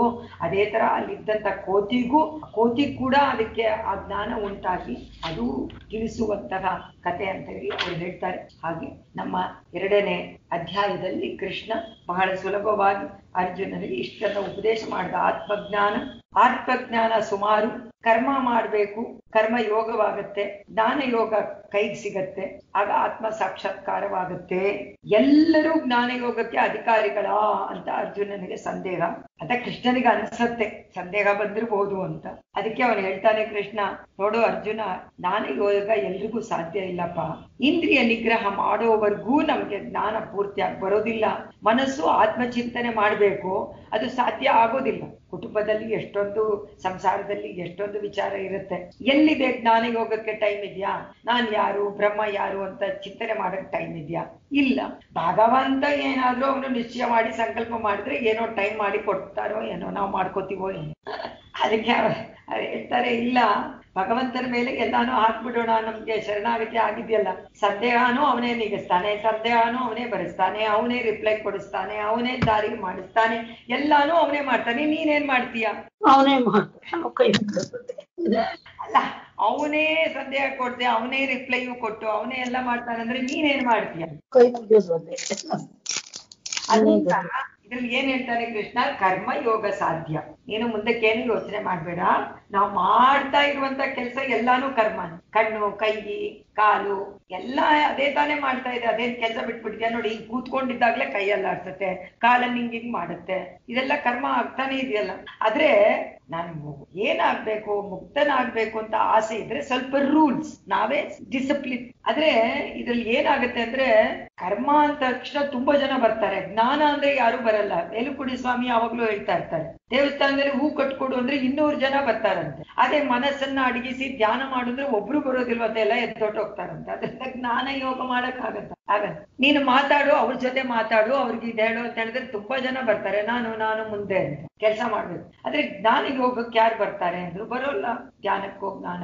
ಅದನ್ನೇ ಇಲ್ಲಿ ನಾವೇನ್ ಮಾಡ್ಬೇಕು ಅಂತಂದ್ರು ಭಗವಂತನ ಪಾದಾರವಿಂದದಲ್ಲಿ ಸಮರ್ಪಣೆ ಮಾಡಿ ಆತ್ಮದರ್ಶನ, ಅನ್ಯಸ್ಯ ಲೋಕ ರಕ್ಷಣೆಗಾಗಿ ಲೋಕ ರಕ್ಷಣೆಗೋಸ್ಕರವಾಗಿ ಭಗವಂತ ಎಷ್ಟು ಕಷ್ಟ ಪಡ್ತಾನಲ್ಲ ಎಲ್ಲರನ್ನೂ ರಕ್ಷಣೆ ಮಾಡ್ಬೇಕು ಅಂತ ಆಸೆ, ಎಲ್ಲರನ್ನೂ ಉದ್ಧಾರ ಮಾಡ್ಬೇಕು ಅಂತ ಆಸೆ ತಾನೇ ಭಗವಂತನಿಗೆ. ಅದರಿಂದಾನೇ ಆರೋಗ್ಯ ತನ್ನ ಗುಣಗಳನ್ನೆಲ್ಲ ಬಿಟ್ಟುಬಿಟ್ಟು ಸಾಮಾನ್ಯವಾದ ಮನುಷ್ಯನಂತೆ, ಸಾಮಾನ್ಯವಾದ ಪ್ರಾಣಿಯಂತೆ ಇಲ್ಲಿ ಬಂದು ಅವತಾರಗಳನ್ನ ಮಾಡ್ತಾನಲ್ಲ. ಯಾತಕ್ಕೆ? ಇದು, ಅದು ಮುಗ್ಗುಣದಿಂದ ಕೂಡಿರುವಂತ ಈ ಪ್ರಪಂಚ. ಎಲ್ರೂ ನನ್ನ ತಿರುವಡಿನಲ್ಲಿ ಬರ್ಲಿ, ಎಲ್ರೂ ನನ್ನ ಆಶ್ರಯದಲ್ಲಿ ಬರ್ಲಿ ಅಂತ ಆಸೆ. ಅದು ಖಂಡಿತವಾಗಿ ಆದ್ರೆ ಸಾಧ್ಯ ಹೇಳಿ ಎರಡನೇ ಅಧ್ಯಾಯವನ್ನ ಮುಗಿಸ್ತಾರೆ. ಸ್ಥಿತಪ್ರಜ್ಞತಾ ಯೋಗ ಸಾಧನ ಭೂತ ಅಂತ ನಮ್ಮ ಭಾಷ್ಯಕಾರರು ಅದೇ ಅಭಿಪ್ರಾಯವನ್ನ ತಮ್ಮ ಭಾಷ್ಯದಲ್ಲೂನೆ ಹೇಳಿ, ಆತ್ಮ ನಿಜ ಸ್ವರೂಪ ಅಂದ್ರೆ ಯುದ್ಧ ಎನ್ನುವಂತ ಕರ್ಮವನ್ನ ಆತ್ಮ ಪ್ರಾಪ್ತಿಗೆ ಸಾಧನ ಅಂತ ತಿಳ್ಕೊಂಡು ನೀ ಮಾಡು. ದೇಹವೇ ಆತ್ಮ ಅಂತ ಮೋಹ ಪಟ್ಕೊಳ್ಬೇಡ. ಮೋಹದ ಕಾರಣ ನೀನು ಯುದ್ಧ ಮಾಡಬಾರ್ದು ಅಂತ ಅರ್ಜುನ ಹೇಳ್ತಾ ಇದೀಯಾ? ಅದ್ ಬೇಡ. ಅದನ್ನ ಬಿಟ್ಬಿಡು. ಮೋಹ ಬಿಟ್ಟಾಗ ಶಾಂತಿ ತಾನಾಗೆ ನಿತ್ಯವಾಗ್ಬಿಡುತ್ತೆ ಆತ್ಮನಿಗೆ. ಅವಾಗ ತತ್ವ ವಿಷಯ ಚೆನ್ನಾಗಿ ಆ ಬುದ್ಧಿಯಿಂದ ತಿಳ್ಕೊಳ್ಳುವಂತ ಆ ಜ್ಞಾನದ ಒಂದು ಇದು ಉಂಟಾಗತ್ತೆ. ಆಗ ನೀನೇನ್ ಮಾಡ್ತೀಯ? ಎಲ್ಲಾ ಕರ್ಮವನ್ನ ಸಂಘ ಬಿಟ್ಟು ಮಾಡ. ನನ್ನದು ಅಂತ ಮಾಡಲ್ಲ, ನಾನ್ ಮಾಡ್ತಾ ಇದ್ದೀನಿ ಅಂತ ಮಾಡಲ್ಲ. ಆ ಬುದ್ಧಿ ಬಂದ್ಬಿಟ್ರೆ ಅದೇ ಸ್ಥಿತ. ಅದೇ ಜ್ಞಾನ ಯೋಗ ಅದು ಯಾವುದರಿಂದ ಬಂತು? ಕರ್ಮಯೋಗ ಸಾಧನೆಯಿಂದ ಬಂತು ಅಂತ ಹೇಳಿ ಎರಡನೇ ಅಧ್ಯಾಯ ನಿತ್ಯನಾದ ಆತ್ಮ ತತ್ವವನ್ನ ತೋರಿಸುವ ಬುದ್ಧಿ ಮತ್ತು ಅಸಂಗ ಕರ್ಮಾನುಷ್ಠಾನ ವಿಷಯ. ಇದು ಎರಡು ತುಂಬಾ ಮುಖ್ಯವಾದದ್ದು ಎರಡನೇ ಚಾಪ್ಟರ್ನಲ್ಲಿ. ಇದನ್ನ ಸಾಧ್ಯವಾದಷ್ಟು ನಾವು ನಮ್ಮ ನಮ್ಮ ಇದರಲ್ಲಿ ಅಳವಡಿಸ್ಕೊಳ್ಬೇಕು ಹೇಗೆ? ಹೇಗ್ ಮಾಡ್ಕೊಳ್ಬೇಕು? ನಮ್ ನಮ್ ನಾವು ಏನೇನ್ ಕರ್ಮ ಮಾಡ್ತೀವೋ ಎಲ್ಲವನ್ನು ಮಾಡ್ಬೇಕು. ಆದ್ರೆ ಇದು ಕರ್ತವ್ಯ ಅಂತ ನಡ್ಕೊಂಡು ಹೋಗ್ಲಿ, ಭಗವಂತನಿಗೆ ಅಂತ ನಡ್ಕೊಂಡು ಹೋಗ್ಲಿ, ನಂದೇನು ಇಲ್ಲ, ನನ್ ಕೈವಾಡ ಇಲ್ಲ, ಎಲ್ಲ ಅವನ ಇಚ್ಛೆ. ಅಂತ ನಾವು ಸಂಕಲ್ಪ ಮಾಡ್ಕೊಳ್ಬೇಕಲ್ಲ. ಒಂದೊಂದು ಕ್ಷಣದಲ್ಲೂ ಬರೋದಿಲ್ವಲ್ಲ ಇದು? ಕಾನ್ಶಿಯಸ್ ಆಗಿರೋಲ್ವಲ್ಲ ನಾವು. ಅದರಿಂದ ಶಾಂತಿ ಅಂದ್ರೆ ಪರಂ ನಿರ್ವಾಣ ಮಾಪ್ತಿ ನಮಗೆ ಶಾಂತಿ ಬೇಕಲ್ಲ? ಶಾಂತಿ ಬೇಕು ಅಂತ ತಕ್ಷಣ ಸುಖ ದುಃಖ ಇಲ್ಲದೆ ಇರಬೇಕು ಅಂತ ಸುಖ ದುಃಖ ಬೇಡ ಅಂತಂದ್ರೆ ಸ್ಥಿತ ಪ್ರಜ್ಞಾನ ಆಗ್ಬೇಕು ಸ್ಥಿತ ಪ್ರಜ್ಞತೆ ಬರ್ಬೇಕಾದ್ರೆ ನಮ್ಗೆ ಇಂದ್ರಿಯಗಳನ್ನ ನಿಗ್ರಹ ಮಾಡ್ಬೇಕು. ಇಂದ್ರಿಯ ನಿಗ್ರಹ ಮಾಡ್ಬೇಕಾದ್ರೆ ಮನಸ್ಸು ಅದ್ರೊಳಗಡೆ ಹೋಗ್ಬೇಕು. ಮನಸ್ಸು ಹೋಗ್ಬೇಕಾದ್ರೆ ಮನಸ್ಸನ್ನ ಎಲ್ಲೋ ಒಂದ್ ಕಡೆ ನಿಲ್ಲಿಸ್ಬೇಕು. ಅದು ಪ್ರತಿಷ್ಠೆ ಮಾಡ್ಬೇಕಾದ್ರೆ ಪ್ರತಿಷ್ಠೆ, ಜ್ಞಾನದಲ್ಲಿ ಪ್ರತಿಷ್ಠೆ ಮಾಡ್ಬೇಕು ಅಂತ ಜ್ಞಾನ, ಜ್ಞಾನದಿಂದ ಭಗವಂತನಲ್ಲಿ ನನ್ನ ಮನಸ್ಸನ್ನ ಪ್ರತಿಷ್ಠೆ ಮಾಡ್ಬಿಟ್ರೆ ಆಗ ಕರ್ಮ ಎಲ್ಲ ನಾ ಮಾಡ್ತಾ ಇಲ್ಲ ಅನ್ನೋದು ಬರುತ್ತೆ ಮನಸ್ಸಿಗೆ. ಫಲವು ನನಗೆ ಬೇಕಾಗಿಲ್ಲ ಅನ್ನೋದು ಬರುತ್ತೆ. ಆಗ ಖಂಡ ಇಷ್ಟು ತಾನೇ ಎರಡನೇ ಚಾಪ್ಟರ್ ಪೂರ್ತಿ. ಇದು ಆತ್ಮ ಸಾಕ್ಷಾತ್ಕಾರ ಎನ್ನು ಈಗ ಕೃಷ್ಣ इति श्रीमद्भगवद्गीतासु उपनिषत्सु ब्रह्मविद्यायां योगशास्त्रे श्रीकृष्णार्जुनसंवादे साङ्ख्ययोगो नाम ದ್ವಿತೀಯೋಧ್ಯಾಯಗ ಅಂತ ಎರಡನೇ ಅಧ್ಯಾಯವನ್ನ ಮುಗಿಸ್ಬಿಟ್ರು ಈಗ ಮೂರನೇ ಅಧ್ಯಾಯ ತೃತೀಯ ಎಪ್ಪತ್ತೆರಡು ಶ್ಲೋಕ ಎರಡನೇ ಅಧ್ಯಾಯದಲ್ಲಿ ಮೂರನೇ ಅಧ್ಯಾಯ ತೃತೀಯ ನಲವತ್ತ ಮೂರು ಶ್ಲೋಕಗಳಿಂದ ಕೂಡಿದೆ. ಇಲ್ಲಿ ಭಾಷ್ಯಕಾರರ ಅವತಾರಿಕೆಯಲ್ಲಿ ಈಗ ನಮ್ಗೆ ಪ್ರಮಾಣ ವೇದ ಉಪನಿಷತ್ ನಮ್ಗೆಲ್ಲ ಪಾಪ ಕರ್ಮಗಳಿಗೋ ಪುಣ್ಯ ಮಾಡೋದು ಈ ಕರ್ಮಗಳಿಗೆಲ್ಲ ಕಾರಣ ನಮ್ಮ ಅವಿದ್ಯೆ.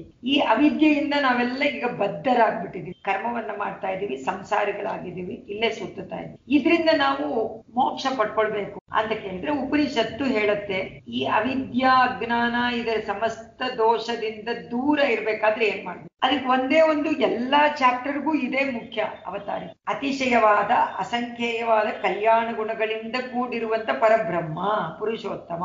ಅವನನ್ನ ಉಪಾಸನೆ ಮಾಡು, ಅವನನ್ನ ಧ್ಯಾನ ಮಾಡು, ಅವನನ್ನ ವೇದನ ಮಾಡು, ಐಕಾಂತಿಕ ಭಕ್ತಿ ಮಾಡು. ಆ ಭಕ್ತಿ ಅನ್ನುವಂಥದಕ್ಕೆ ಅಂಗ. ಅಂಗ ಏನು?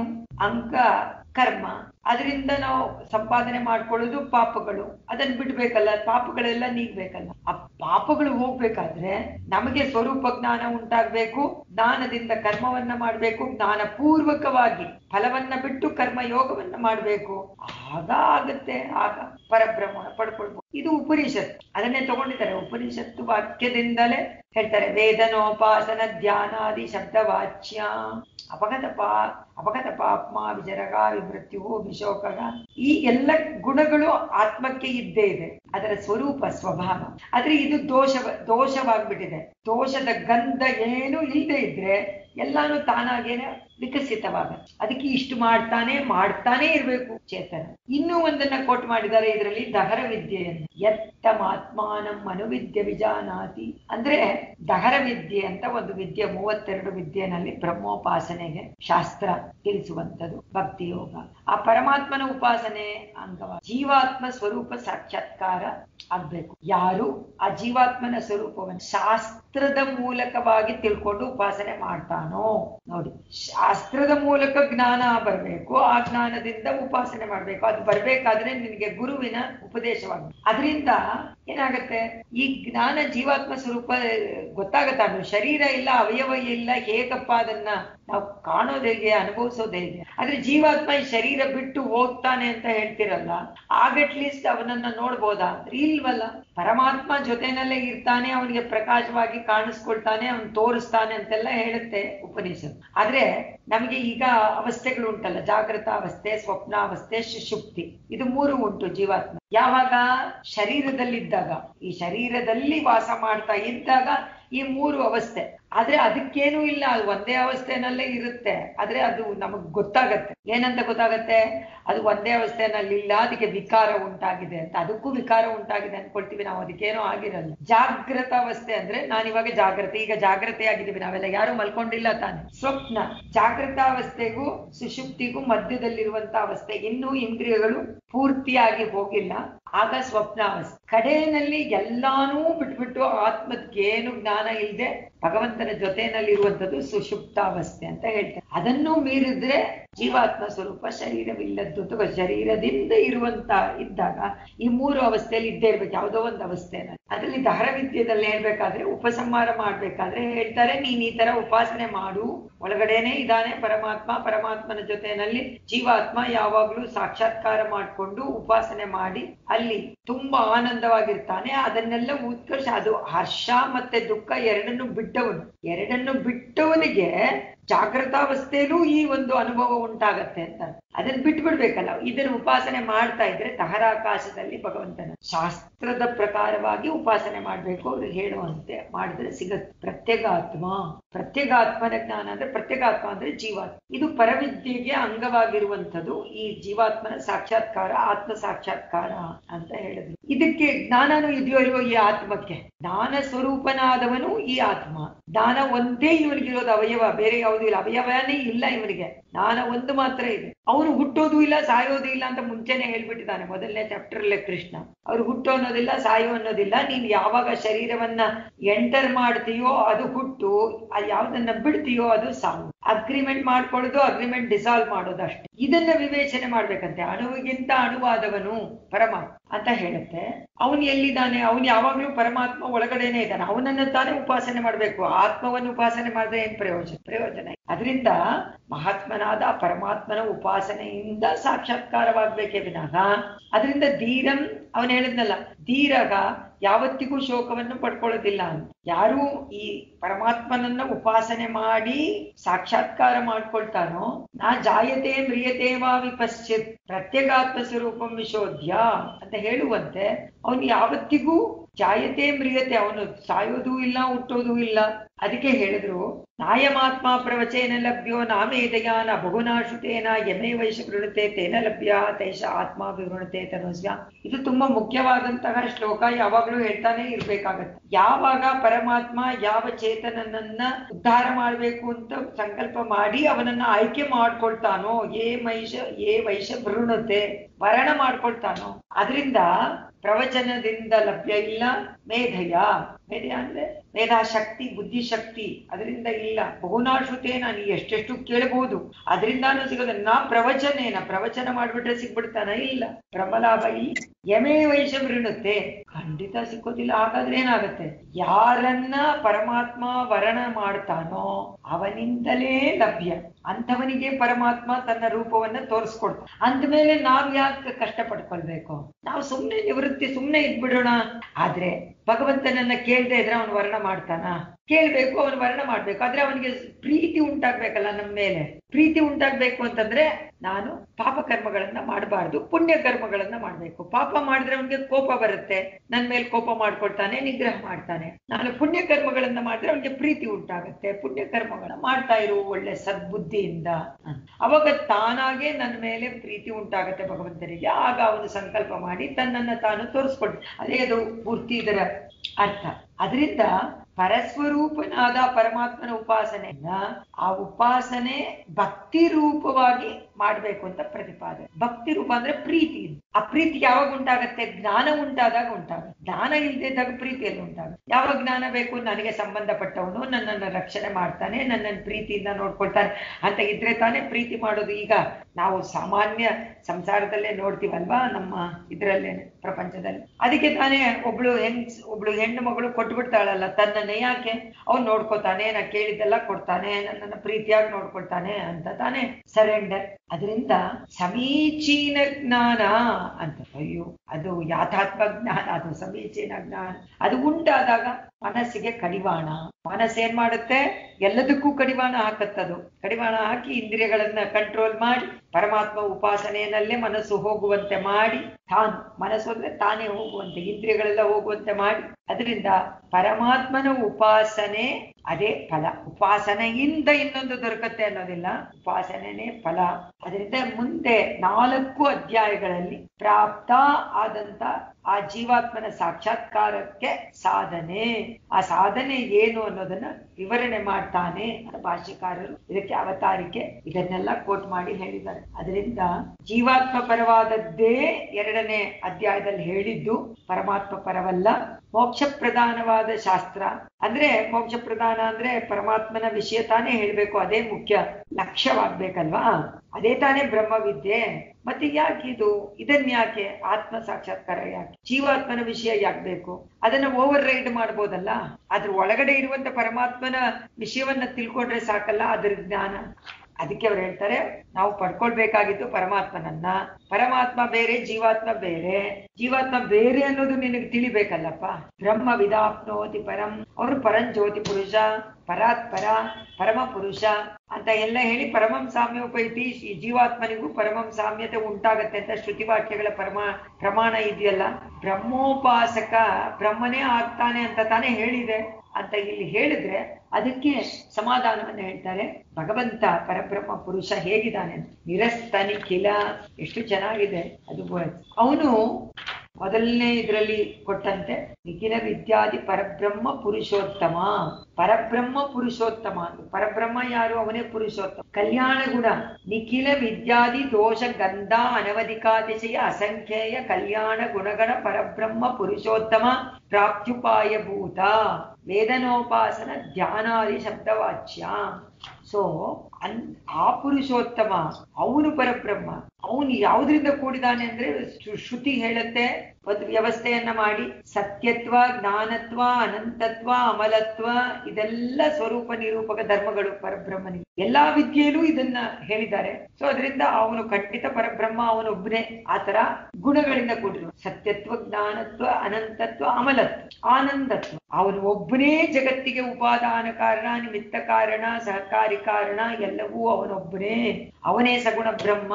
ಅವನೇ ವಿಲಕ್ಷಣವಾದವನು ಒಬ್ಬನೇ ಒಬ್ಬ. ಆ ಸರ್ವೇಶ್ವರ ಒಬ್ಬನೇ ಪರಬ್ರಹ್ಮ ಪುರುಷೋತ್ತಮ ಅಂತ ನಾವು ಚೆನ್ನಾಗಿ ತಿಳ್ಕೊಬೇಕಲ್ವಾ? ಸೊ ಇದು ಪರಬ್ರಹ್ಮ ಜ್ಞಾನ ಇದು ಪರಜ್ಞಾನ. ಈ ಪರಜ್ಞಾನ ಯಾವಾಗ ಉಂಟಾಗತ್ತೆ ಭಗವದ್ಗೀತೆಯನ್ನ ಕೇಳಿ ಉಂಟಾಗತ್ತೆ. ತದೈಕಾಂತಿಕಾತ್ಯಂತಿಕ ಭಕ್ತಿ ಏಕಾಂತಿಕ ಭಕ್ತಿ ಅಂತವನಲ್ಲಿ ನಾವು ಭಕ್ತಿ ಮಾಡ್ಬೇಕು. ಅವನನ್ನು ಉಪಾಸನೆ ಮಾಡ್ಬೇಕು, ಪರಬ್ರಹ್ಮನ. ಈ ಆತ್ಮವನ್ನು ಉಪಾಸನೆ ಮಾಡಿದ್ರೆ ಏನು ಪ್ರಯೋಜನ ಇಲ್ಲ. ಅವನಿಗೆಲ್ಲ ಇರ್ಬೋದು. ಆದ್ರೆ ಭಗವಂತನ ಗುಣಗಳೆಲ್ಲ ಇಲ್ವಲ್ಲ? ಅವನಂತೆ ಆಗೋಕಾಗೋದಿಲ್ವಲ್ಲ? ಅವ್ರು ಹೇಳಿದ್ರಲ್ಲ ಬ್ರಹ್ಮವಿದ ಆಪ್ನೋತಿ ಪರಂ ಅಂತ ಹೇಳ್ಬಿಟ್ರು. ಬ್ರಹ್ಮವಿದ್ ಬ್ರಹ್ಮ ಇವ ಭವತಿ ಅಂತ. ಅದಾಗೋದಿಲ್ಲ. ಬ್ರಹ್ಮನಂತೆ ಆಗೋಕ್ಕಾಗಲ್ಲ ಅಲ್ಲ, ಬ್ರಹ್ಮ ಆಗೋಕ್ಕಾಗೋದಿಲ್ಲ ಬ್ರಹ್ಮನಂತೆ. ಬ್ರಹ್ಮನಂತೆ ಸಾಮ್ಯ, ಬರ್ಬೋದು ಸಾಮ್ಯತೆ ಅಂತ. ಇದು ಇನ್ನೂ ಇದರಲ್ಲಿ ಸ್ವಲ್ಪ ಅವತಾರಿಕೆ ಇದೆ. ಇದನ್ನ ನಾಳೆ ನೋಡೋಣ. ಮೂರನೇ ಅಧ್ಯಾಯ. ಯಾದವೇಂದ್ರಾಯ ಮಾನೀಯ ಗುಣಾಬ್ಧಯೇ ದೇವತನ್ಮೂಜಾಯ ವಾಸುದೇವಾಯ ಮಂಗಳಂ. ಮಂಗಳಾಶಾಸನ ಪರೈರ್ಮದಾಚಾರ್ಯ ಪುರೋಗಮೈ ಸರ್ವೈಶ್ಚ ಪೂರ್ವೈರಾಚಾರ್ಯೈ ಸತ್ಕೃತಾಯ ಮಂಗಳ ಶ್ರೀ